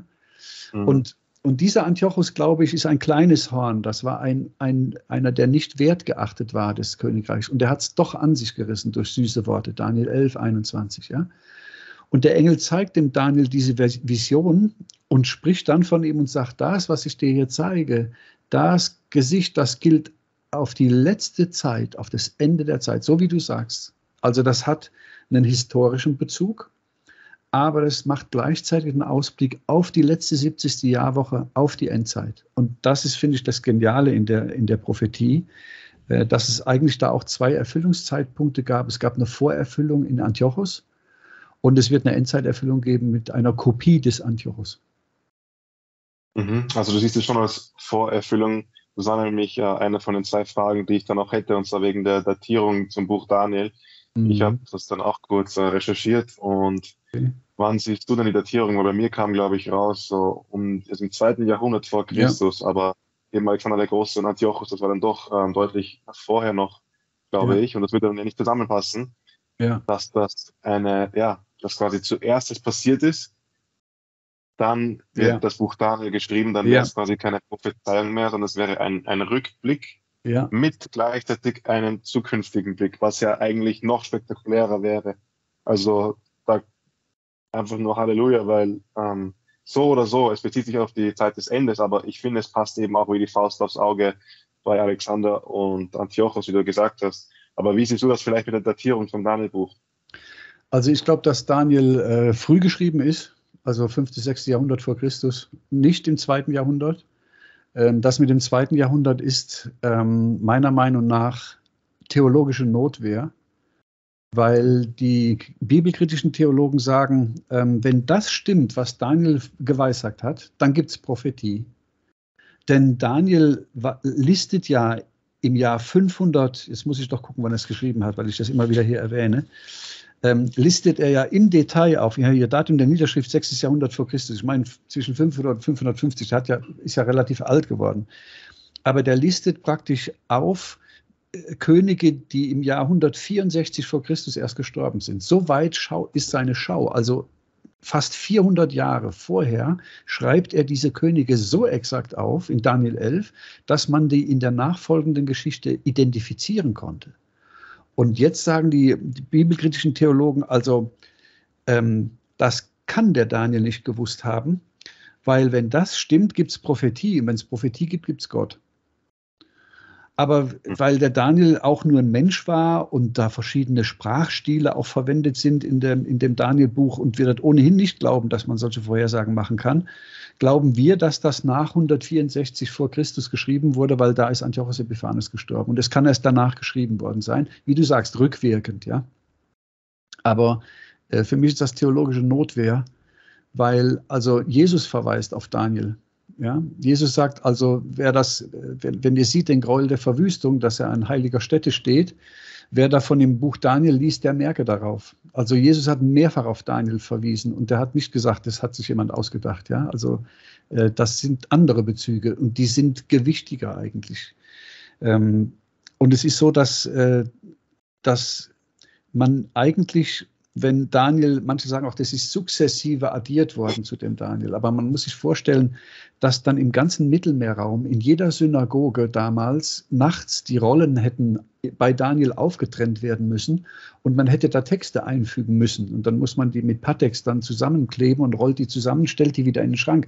Und alles in einer Nacht im ganzen Mittelmeerraum, in allen Hunderten und Tausenden von Synagogen das, also deswegen sage ich, das ist theologische Notwehr, weil das ist noch lächerlicher, als das hier anzuzweifeln. Also ich glaube, dass das, es gibt äh, Prophetie. Warum? Weil Gott in Jesaja sagt, seht, ich habe es euch vorher gesagt, damit, wenn es eintrifft, ihr wisst, dass ich es gewesen bin, der es euch gesagt habe und nicht eure Götzen, die ihr anbetet. Prophetie ist ähm, in der Bibel also ein ganz zentrales Kennzeichen dafür, dass, ähm, dass Gott existiert. Und ich glaube, dass diese Theorie, dass Daniel im zweiten Jahrhundert geschrieben worden wäre, nur von einer bibelkritischen und gottkritischen ähm, Theologie als Notwehr verwendet wird. So würde ich sagen. Mhm. Sehr gut, dass du das sagst. Ja, ich glaube, für jeden Zuhörer, falls du dich damit noch nicht so beschäftigt hast, aber Theologe bedeutet nicht gleich jemand, der an Gott glaubt. Ganz im Gegenteil. Also die Studiengänge Und das Studium der Theologie an so gut wie allen Universitäten bildet dich eigentlich zu einem Gottlosen aus, mehr oder weniger. Also voll mit Bibelkritik. Und die wenigsten sind dort wirklich gläubig und die, die gläubig eingegangen sind, die kämpfen damit, ähm, ihren Glauben nicht zu verlieren, weil da einfach so viel an Bibelkritik kommt und falls sich das verunsichert, ähm, auch Dr. Lothar Gassmann, Dr. Roger Libi, die wahrscheinlich die meisten von euch kennen, die sind auch durch dieses Studium von dieser Bibelkritik durchgegangen und sind trotzdem noch im Glauben. Äh, es gibt auch eine, ich habe den Namen jetzt leider vergessen, aber ich werde es dann verlinken, denke ich mal, ähm, die eben auch wegen der Bibelkritik ihren Glauben aufgegeben hat, aber dann am Ende ihres Lebens realisiert hat, was sie eigentlich getan hat und eben dann diese ganzen Fehler äh, in dieser Bibelkritik aufgedeckt hat und ein Buch daraus geschrieben hat. Ich glaube, Ute Lindemann, wenn ich mich nicht ja, irre, Lindemann, glaube ich, ist es. Ja, genau, das würde ich auf jeden Fall auch sehr, sehr empfehlen und das würde ich halt immer im Hinterkopf behalten. Und ich weiß nicht, ob hier mit der C14-Methode gearbeitet wurde. Ich denke mal nicht, sondern dass man das versucht anhand von ja, Schriftart und äh, Sprache vielleicht versucht dann zu datieren. Aber wie auch immer, das sollte man nie vergessen als Außenstehender, dass Datierungen meistens eben, ja, sage ich mal, am Ende dann beschlossen werden von nichtgläubigen Menschen, die Prophetie ablehnen, die sagen, das kann nicht sein, das kann einfach nicht sein, dass der das schon im Vorher alles so wusste. Unmöglich. Und deshalb, nee, wir setzen uns jetzt hier hin. Also mhm. nach den Ereignissen. Weil sie das nicht in ihrem ja. Universum akzeptieren ja. können wollen. Ähm. Also ich ähm, darf vielleicht auch sagen, ich habe grenzenloses Vertrauen in die Bibel. Also ich ähm, habe im Beruf ähm, sklavisch beigebracht bekommen, alles zu hinterfragen. Und ich habe lange bei großen Banken gearbeitet, wo, wo man Verträge prüfen muss. Und uns ist beigebracht worden, alles zu wieder hinterfragen, nichts zu glauben, alles selber zu prüfen, selber zu plausibilisieren, sich selber die eigene Meinung zu machen. Das waren zum Teil auch komplizierte Verträge. Ähm, ich habe das bei der Bibel auch so gemacht. Ich bin zum Glauben gekommen und habe dann eine Phase gehabt, wo ich gezweifelt habe und habe gesagt, du willst das bloß glauben. Und ich bin jetzt seit vielen Jahrzehnten Christ und ich habe nirgendwo eine Bibelstelle gefunden, wo ich sagen würde, da ist die Bibel widersprüchlich oder falsch. Nirgendwo, im Gegenteil. Je länger ich in der Bibel lese, desto mehr Vertrauen habe ich zur Bibel und ich muss sagen, ich habe grenzenloses Vertrauen dazu. Und viele kommen und sagen, ja, die Bibel ist ja verfälscht. Dann frage ich immer gern zurück, wo denn? Zeig's mir. Und dann kommt halt nichts. Ja. Und im Internet findet man auch oft diese Aussagen, die Bibel wäre verfälscht worden. Der Vatikan hätte irgendwelche Originale da im Keller liegen. Also das ist Unsinn. Ja. Ähm, ihr könnt jede moderne Bibelübersetzung heute nehmen. Äh, da sind zum Teil, wie wir ja eben auch gesehen haben, in Sacharja ist jetzt ähm, mal statt Bruderschaft wie hast du noch gesagt, den Schlachter, ich weiß nicht mehr genau, Verbindung, glaube ich, übersetzt, ja. ja. Das liegt aber daran, dass hebräische Wörter manchmal eine sehr große Bedeutungsbreite haben und das Deutsche halt eine, eine sehr exakte Hochsprache ist, eine Sprache der Dichter und Denker. Und das Deutsche ist fast zu exakt, um das zu übersetzen. Und dann wählt man ein bestimmtes deutsches Wort und der Deutsche denkt, das kann jetzt auch nur das heißen. Im Hebräischen ist es aber manchmal eine etwas breitere Bedeutungsbreite.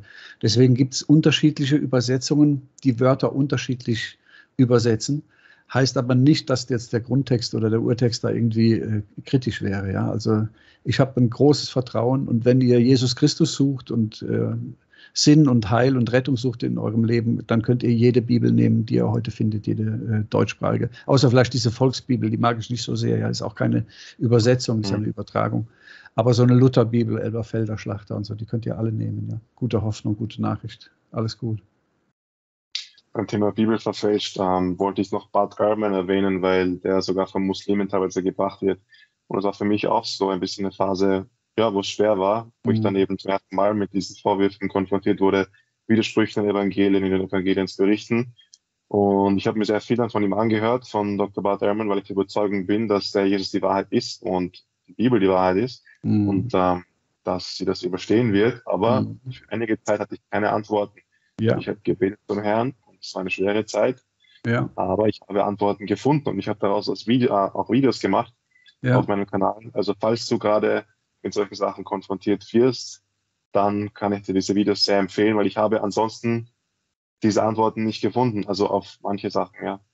Aber bei einer Sache habe ich wirklich nirgends im Internet eine Antwort gefunden, eine Lösung und habe dann selber die Lösung gefunden. Ja, also ich danke dem Herrn dafür. Ähm, das ging da um Judas und ob mhm. er äh, durch den Strick gestorben ist oder doch dann den Acker runter, Acker Dama, den Acker bei Jerusalem, um wie das zu vereinen ist, verknüpfen ist. Scheinbar unterschiedliche Berichte. Das habe ich da in dem Video erklärt, das sehr wohl zu harmonisieren ist. Mhm. Und genau, also der Glaube übersteht jede Bibelkritik, äh, auch Evolution und alles, was du gerade durchmachst, ja. Der Jesus ist die Wahrheit und dein Glaube wird durch das alles durchkommen. Da, das möchte ich dir nur mitgeben, ja. Und dass wir das und sehr viele Christen das auch durchgemacht haben, ja. Aber der Herr ist die Wahrheit und das sehen wir nicht nur an der Bibel und an den ganzen mhm. Prophezeiungen, das sehen wir auch in der Welt und in den Sachen, die wir erleben. Ja, ja, und ich denke auch, es ist nicht heilsnotwendig, jetzt Daniel zu kennen und Zacharia und äh, diese ganzen Endzeitthemen. Ja, ich beschäftige mich da gerne mit. Aber um, um in den Himmel zu kommen und gerettet zu werden, da brauchst du so ein ganz klein bisschen Glauben. Da muss man nur glauben, dass Jesus für uns gestorben und auferstanden ist. Und das ist schon genug, ja. Und was Gott dann da dazu noch schenkt an, an Wissen und an Erkenntnis, ähm, das soll einen nicht aufblasen, wie der Luther sagt da im Alten Testament, ja, oder im, im, im Korintherbrief, sondern soll auch zu Jesus Christus führen. Aber ähm, diese, diese endzeitlichen Spezialitäten, Spezialthemen, die sind nicht heilsnotwendig, ja, sondern da kann man sich mal mit beschäftigen. Ähm, ich bin da auch vorsichtig in meinen Aussagen. Ich versuche das möglichst auch eng am Text dann auch zu zeigen. Ich habe auch erlebt, dass viele auch ähm, Auslegungen gemacht haben, die sich dann nachher als falsch erwiesen haben. Im Irakkrieg äh, war das der Fall, ja, in den ähm, war das 80er Jahre, ja. Und ähm, die, die, haben sich alle korrigieren müssen, sehr, sehr mühsam, weil die Daniel-Prophetien dann auf den Irakkrieg angewendet haben. Und das ist alles schiefgegangen, ja. Und deswegen bin ich sehr vorsichtig, ähm, so, so ähm, zeitgenössische politische Ereignisse, auch die jetzt hier ähm, mit, mit der Bibel erklären zu wollen. Das machen manche im Internet. Aber ich bemühe mich da so ein bisschen um Nüchternheit und Zurückhaltung und sage, was steht denn dort und was steht dort nicht und versucht es am, am, Text zu analysieren, mal ganz unabhängig von dem, was auch passiert. Ähm, nichtsdestotrotz glaube ich, dass man, wenn man so Milestones hat, ja, dass man, dass man ähm, mal vielleicht im Hinterkopf haben äh, kann, dass Israel erstmal noch zerbrechen muss, dass Jerusalem zum Glauben an Jesus kommen muss und ähm, dass das noch Dinge sind, die noch ausstehen, dann glaube ich, kann man sich eine gewisse Nüchternheit im Glauben auch bewahren. Und es ist auch immer gut, auch als Christ mit beiden Beinen auch nüchtern im Leben zu stehen. Ja, wir sind nicht von der Welt, wir sind in der Welt. Ähm, wir sind in der Welt, aber nicht von der Welt. Ja, so muss man es ja eigentlich beides, beide Dinge sehen. Aber es ist auch gut, eine gewisse Glaubensnüchternheit zu bewahren. Jesus sagt auch, seid nüchtern und wachet und nicht seid panisch und wachet. Ja, und ähm, das gehört in so Zeiten wie jetzt auch dazu. Ja, der Herr ist da und er hat seinen Plan und er geht mit uns. Und wer an Jesus Christus glaubt, für den ist alles gut geworden. Und wenn das nächste Corona kommt, dann gehen wir halt mit Traktaten raus und sagen den Leuten, nicht die Maske schützt euch, sondern Jesus, ja, der rettet euch. Und ähm, so halten wir das auch. Und Amen. ich finde das auch sehr ermutigend, ja. Also mich freut auch immer, wie, wie du da an die Themen rangehst und wie du offen bist und die Sachen nachprüfst. Das ist einfach gut, ja. Und ähm, die Nüchternheit äh, zeichnet, glaube ich, einen Christen auch aus. Und eine lebensbejahende einen fröhlichen, gefestigten Glauben in Christus. Die Welt, die, die den Glauben nicht hat, die müsste sich fürchten und die weiß ja nicht, wo vorne und hinten steht. Aber, aber wir haben immer wieder Gottes Wort und ich mache auch schon mal Urlaub in den Psalmen einfach. Dann lese ich mir im Psalm und sage, der Herr hat alles in der Hand. Dann bete ich, mache meine Bibel zu und gehe dann geh ans Tagswerk, Tagwerk. Ja. Das, das gehört auch zur Nüchternheit des Glaubens dazu. Zuversichtlich. Wir haben Hoffnung, ja. Wir haben das, das Leben gefunden in Christus. So ist es. Ja. Amen. Sehr schön ja. gesagt, ja. Ja, danke für die Worte noch und kann ich nur Amen dazu sagen und das so bestätigen. Ja, ähm, weil wir ja schon mit der Zeit etwas fortgeschritten sind. Oh ja. Ich vielleicht gesagt, dass wir ähm, einfach noch zwei kurze Punkte machen. Also ich hätte noch zwei kurze Fragen. Das okay, wir vielleicht so in, fünf, in fünf, fünf, fünf Minuten, ja. ja. das schaffen wir, glaube ich, in fünf Minuten, dass wir das vielleicht noch äh, kurz machen, weil eine Sache, die ist, glaube ich, ziemlich wichtig, vielleicht auch für die Zuhörer, weil du ja an Theophilus Epiphanes als den äh, ja, Prototypen oder Forscher Antichristen siehst, wollte ich dich fragen, ob du den zukünftigen Antichristen von der Abstammung her auch als Israel, als, als, als äh, Jude siehst, zwingend oder nicht? Weil Antiochus ist ja äh, Seleukide, somit ähm, könnte man sagen Grieche. Ja. Und ja, wie du das siehst, wäre meine erste Frage, genau. Also viele sehen den Antichristen als Juden und sagen, dass ähm, die Juden niemals bereit wären, einen Nichtjuden als ihren Messias anzuerkennen. Ja? Der Antichrist würde sich ja ausgeben als Gott oder als, als zumindest als Messias. Und ähm, die Juden werden ihn anerkennen. Und ähm, viele Pastoren sagen, so habe ich auch immer gehört, dass die Juden niemals einen Nichtjuden anerkennen würden. Aber es gibt halt äh, zwei Bibelstellen, wo die Juden das trotzdem gemacht haben. Ja? Also der, der, ähm, der Antichrist ist für mich das Tier aus dem Meer, nicht das Tier aus dem Land. Ja? Das Tier aus dem Land ist für mich äh, der falsche Prophet und das Tier aus dem Meer ist für mich der Antichrist. Und, auch, ja. ja. und die Juden haben, ähm, weil es immer ein bisschen durcheinander geht, ja, also ähm, auch bei Roger Libby zum Beispiel, also nur um da einen Namen zu nennen, ähm, aber die Juden haben schon mal den Kaiser in Rom ihren König genannt. Als sie Jesus gekreuzigt haben, haben sie gesagt, wir haben keinen König außer dem Kaiser. Und der Kaiser in Rom ist ein Tier aus dem Meer, ein Politiker, der kein Jude ist. Ja? Und die haben ihn Jesus vorgezogen. Also nur mal für den Hinterkopf. Und sie haben auch von Herodes gesagt, ähm, als Herodes eine große Rede zu ihnen tut, ja, ähm, und dann nach hinten umfällt und stirbt, äh, da haben die Juden gesagt, das ist Gottes Stimme. Und sie wussten, Herodes war aus Edom, ein Edomiter, kein Jude. Und ich glaube, dass in der Endzeit die Verwirrung äh, und die, ähm, die, die, die Theo, theologische, äh, religiöse Aufgewühltheit so groß ist, die Unnüchternheit so groß, dass die so jemanden anerkennen werden, der kein Jude ist. Also ich glaube, dass die den, ich sag mal, diese Wiederholung des Antiochos Epiphanes äh, wenn die nach Jerusalem reingeht, dann äh, werden die Juden den anerkennen als ihren Befreier. Das klingt zunächst mal vielleicht für den einen oder anderen ungewöhnlich, aber ich, ich würde mal folgende Skizze machen wollen. Wenn Jerusalem wiedergeboren wird, ähm, dann sind ja gläubige Christen dann in der Stadt und die werden natürlich das Evangelium Jesu Christi predigen. Und es wird für die Juden sehr unangenehm sein, dass aus ihrer Welthauptstadt Jerusalem das Evangelium Jesu gepredigt wird, weil sie das nicht wollen. Sie lehnen ja Jesus ab. Und die Juden warten noch auf zwei Messiasse. Die warten auf einen Messias ben David und einen Messias ben Joseph. Im Prinzip warten die Juden noch auf einen leidenden Messias und einen herrschenden Messias. Wir Christen sagen, nein, nein, das ist ein und derselbe. Der ist schon mal gekommen und auf Golgatha gestorben und Jesus wird wiederkommen in der, in der Endzeit als Herrscher. Ja, das ist die christliche Sicht. Ähm, dieser Messias kommt zweimal, einmal als leidender Messias, einmal als herrschender Messias. Die Juden sehen das anders. Die Juden haben kein neues Testament, sondern nur das Alte Testament.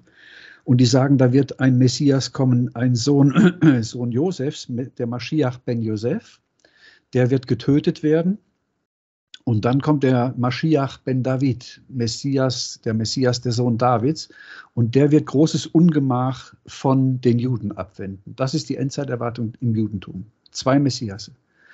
Wenn der Antichrist nach Jerusalem reingeht und die wiedergeborenen Menschen in Jerusalem meuchelt, und zwar bis in den hintersten Winkel, dann werden die Juden sagen, ein Glück, dieses, diese Phase ist vorbei, wo das Evangelium aus Jerusalem gepredigt worden ist. Und dann werden sie sagen, du bist unser Maschiach ben David. Auf Griechisch heißt das, du bist unser Christus, der Sohn Davids. Denn Maschiach ist ja der Gesalbte. Und Gesalbter heißt auf Griechisch Christus. Und Ben David ist Sohn Davids. Das heißt, die Juden werden zu diesem Fremdherrscher, der nicht aus Israel sein wird, der aber diese Schmach von Jerusalem und von den Juden abwendet, werden die sagen, du bist der Maschiach ben David. Auf Griechisch, du bist Christus, der Sohn Davids dann ist er Antichrist. Dann ist er der Gegenspieler von Christus. Da müsste man sich Zeit nehmen für. Ja, das ist auch ein ganz, ganz spannendes Thema, was sich da auftut. Ein Thema, wo es mir kalt den Rücken runterläuft, aber wo ich glaube, dass die Juden einen Nichtjuden als Messias und damit letzten Endes auch als Gott anerkennen werden, wie Paulus im Thessalonischer Brief schreibt. Dieser, dieser Mensch, der Sünde, dieses Kind des Bösen, setzt sich in den Tempel Gottes als ein Gott und lässt sich dort verehren als Gott, als Maschiach ben David. Interessant, ja. Also das teile ich jetzt noch nicht oder nicht. Ähm, ich ja, ich verstehe, dass ja. auf jeden Fall einer eine sein muss, aber es ist nicht ausgeschlossen. Mhm. Und je nachdem, wie es doch sein mag, also Ja, ich habe zumindest keinen Vers im Kopf, der dem klar widersprechen mhm. würde. Ja, es ist ja oft einfach der Gedanke, so sie würden nicht akzeptieren. Ich ja. müsste das nochmal prüfen, natürlich ja. und nachschauen, ja. ob ich da noch einen Vers ähm, habe. Ich habe auch mal ein Video gemacht, glaube ich, ein kurzes Video dazu. Vielleicht finde ich ihn. Aber je nachdem, das ist ja auch nichts, ähm, woran jetzt irgendeine Lehre äh, steht oder fällt. Das ist eigentlich irrelevant, ob der jetzt dann äh, quasi in diesem Sinn auch absolut ein Ebenbild oder Typus sein wird von Antiochus oder nicht von der Abstammung her. Ja. Im Endeffekt, der, der Typus ist er, ob er jetzt von der Abstammung her äh, Grieche ist oder nicht. Ja, das ist richtig. Also ich erwarte ihn, um das, um die Verwirrung vollständig zu machen, ich erwarte ihn auch aus Damaskus, da, aus Syrien, weil Syrien ist das alte Seleukiden, Seleukidenreich, ja. Und ähm, ich glaube, dass dieser sogenannte Antichrist oder dieser kommende Herrscher aus äh, Damaskus kommt und einen Bund mit den vielen macht. Und weil der aus Damaskus kommt, aus Syrien und einen Bund mit Ephraim macht, werden wir in der Endzeit einen syro-ephraimitischen Bund bekommen. Und dieser syro-ephraimitische Bund, das ist eine ganz alte Geschichte, die ich da erzähle. Das ist Jesaja 7. Siehe, eine Jungfrau wird schwanger werden und einen Sohn gebären. Da ist Syrien und der Norden Ephraims gegen Juda und Jerusalem äh, gezogen der Bruderkrieg in Israel. Warum? Weil Israel zerbrochen war in zwei Teile. Ja? Die Kreise schließen sich, wenn man sich damit ein bisschen äh, beschäftigt. Also in Jesaja 7 war Jerusalem zerbrochen. Der Norden Ephraim hatte ein Bündnis gemacht mit Rezin aus Damaskus. Und dieses Bündnis ist in der Geschichte bekannt als Syro-Ephraimitischer Bund, Syrien und Ephraim gegen Juda. Das ist eine hochspannende prophetische Stelle. Da muss man aber ein bisschen Geschichtshintergrund haben, um das zu verstehen. Und dann schließt sich der Kreis, dass Israel zerbricht, weil das wird sich wiederholen. Denn wenn das kommt, wird die Jungfrau, die Tochter Zion, schwanger und wird wiedergeboren. Das ist der Gedanke. Ist aber ein bisschen viel jetzt und vielleicht auch ein bisschen kompliziert. Aber ich will damit nur sagen, manchmal braucht man für die Themen einfach ein bisschen, nein, man braucht einiges auch an alttestamentlichen Kenntnissen, ja. Und Fall, ja. ja. wir dürfen das nicht so aus dem Bauch raus analysieren, sondern man muss die Punkte verbinden, ja, sagt man ja in der Wahrheitsbewegung in der Welt, ja, äh, verbinde die Punkte. Und das mache ich so ein bisschen in der Bibel und verbinde die Punkte ins Alte Testament. Also es gibt, gibt ja dieses Endzeitpärchen, ähm, der Antichrist und der falsche Prophet. Ja? Das ist so ein unseliges Pärchen in der Endzeit. Und dieses, solche Pärchen gibt es auch im Alten Testament. Also ähm, Jabin und Sisera, Oreb und Seb, Seba und Salmuna. Die wir kennen ähm, von, ähm, von der Offenbarung, die wird schon im Richterbuch erzählt. Die wird schon in 5. Mose erzählt. Die wird in Jesaja erzählt. Das will ich damit nur sagen. Äh, diese Punkte müssen wir, diese Linie müssen wir verbinden und diese Kenntnisse müssen wir haben ähm, dann wird da auch ein Schuh draus. Und dann sage ich, erzähle ich gar nichts Neues, sondern ich erzähle eine ganz alte Geschichte, die für uns aber neu ist, weil wir in den Dingen nicht unterwiesen worden sind. Das ist unser Problem bei der Bibelauslegung. Mhm. Theoretisch, Super, ja. ja. theoretisch mit Gottes Geist bräuchten wir kein, kein neues Testament. Wir, und das, Neu, das Alte Testament wird uns theoretisch genügen, wenn wir das Alte Testament mit Gottes Geist lesen, wird es zum Neuen Testament. Die Apostel und die Urgemeinde hatten ja auch kein Neues Testament. Ja, das entstand ja erst, als der Paulus im Gefängnis war. Die hatten ja nur Altes Testament, das muss man sich überlegen, ja, und haben daraus Jesus und die Erlösung und die Auferstehung und seine Wiederkunft und Antichrist und all das aus, dem Alten Testament entwickelt gehabt. Das ist was Großes, ja. Deswegen sage ich, ich erzähle eigentlich nichts Neues, sondern ich erzähle eine ganz alte Geschichte, die aber vielen leider unbekannt ist, weil uns da Bibelwissen fehlt, ja. Super, ja, das kann ich deinen Kanal. Ja, das macht mich ein bisschen, bisschen ruhig, auch ein bisschen gelassen bei der Situation, die wir jetzt haben im Nahen Osten. Ja, es gibt für mich Dinge, die noch kommen müssen, bevor der große Weltenbrand da ansetzt. Das dauert äh, auch noch. Und Jesus sagt das auch. Äh, fürchtet euch nicht, ja, das muss zum ersten alles geschehen, aber das Ende ist noch nicht so schnell da. Diese Nüchternheit, die sollen wir uns bewahren, ja. Und mal spazieren gehen, Fußball spielen, schwimmen gehen, bisschen abschalten und das mal in Gottes Hand einfach lassen. Ja, wir können die Welt nicht retten, die ist schon gerettet, ja. Und wir mit, ja. So ist es. Handy aus vor allem auch, ja, in der heutigen ja. Zeit. Absolut. Ja, nein.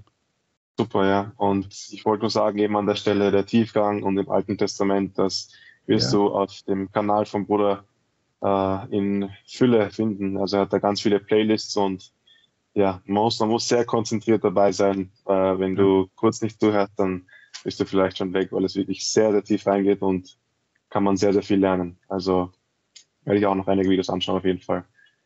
Oder ähm, ja, freue mich. Ist schon, ja, ja schon fortgeschritten. Ja. ja. Gut, dann würde ich sagen, hat mich sehr gefreut. Brennt noch was am Herzen? Oder ansonsten? Ja, nee, alles gut. Sag noch ein schönes Schlusswort. Ich grüße auch alle. Danke fürs Zuschauen und ich überlasse dir das Schlusswort. Okay, super. Ja, also vielen Dank für die Zeit. Und ja, war super, ich glaube, und ich hoffe, dass es für euch auch ein äh, ja, Segen war von Gewinn und dass ihr da jetzt ruhiger rauskommt, als ihr vorher wart. Ja, und Ruhe und Frieden sollen wir leben als Christen. Und das auch ausstrahlen und nicht jetzt da mit ähm, der Welt mitgehen und Angst bekommen. Das wollten wir euch vor allem vermitteln. Und ja, ich wünsche euch den Frieden und den Segen des Herrn. Ihr sollt wissen, dass ihr geliebt seid und dass der Herr Jesus Christus überwunden hat und dass auch wir diese Welt überwunden haben, dass wir bereits hingehören und dass wir in seiner Hand sind. Und von dem her haben wir Zuversicht, wir haben Hoffnung und wir dürfen uns freuen. Und deshalb lasst uns freuen. Ich wünsche dir Gottes reichen Segen und ja, eine schöne Zeit. Genieße die Zeit, genieße äh, das, was wir vom Herrn haben und uns geht es hier wirklich sehr, sehr gut. Das vergisst man auch oft. Handy mal abschalten, das tut, glaube ich, sehr gut. Handy weg, Bibel auf. Und damit, ja, Gottes Segen. Danke fürs Zuhören bis hierhin. Und ja, vielleicht bis zum nächsten Video. Genau. Okay. Ciao, ciao dann.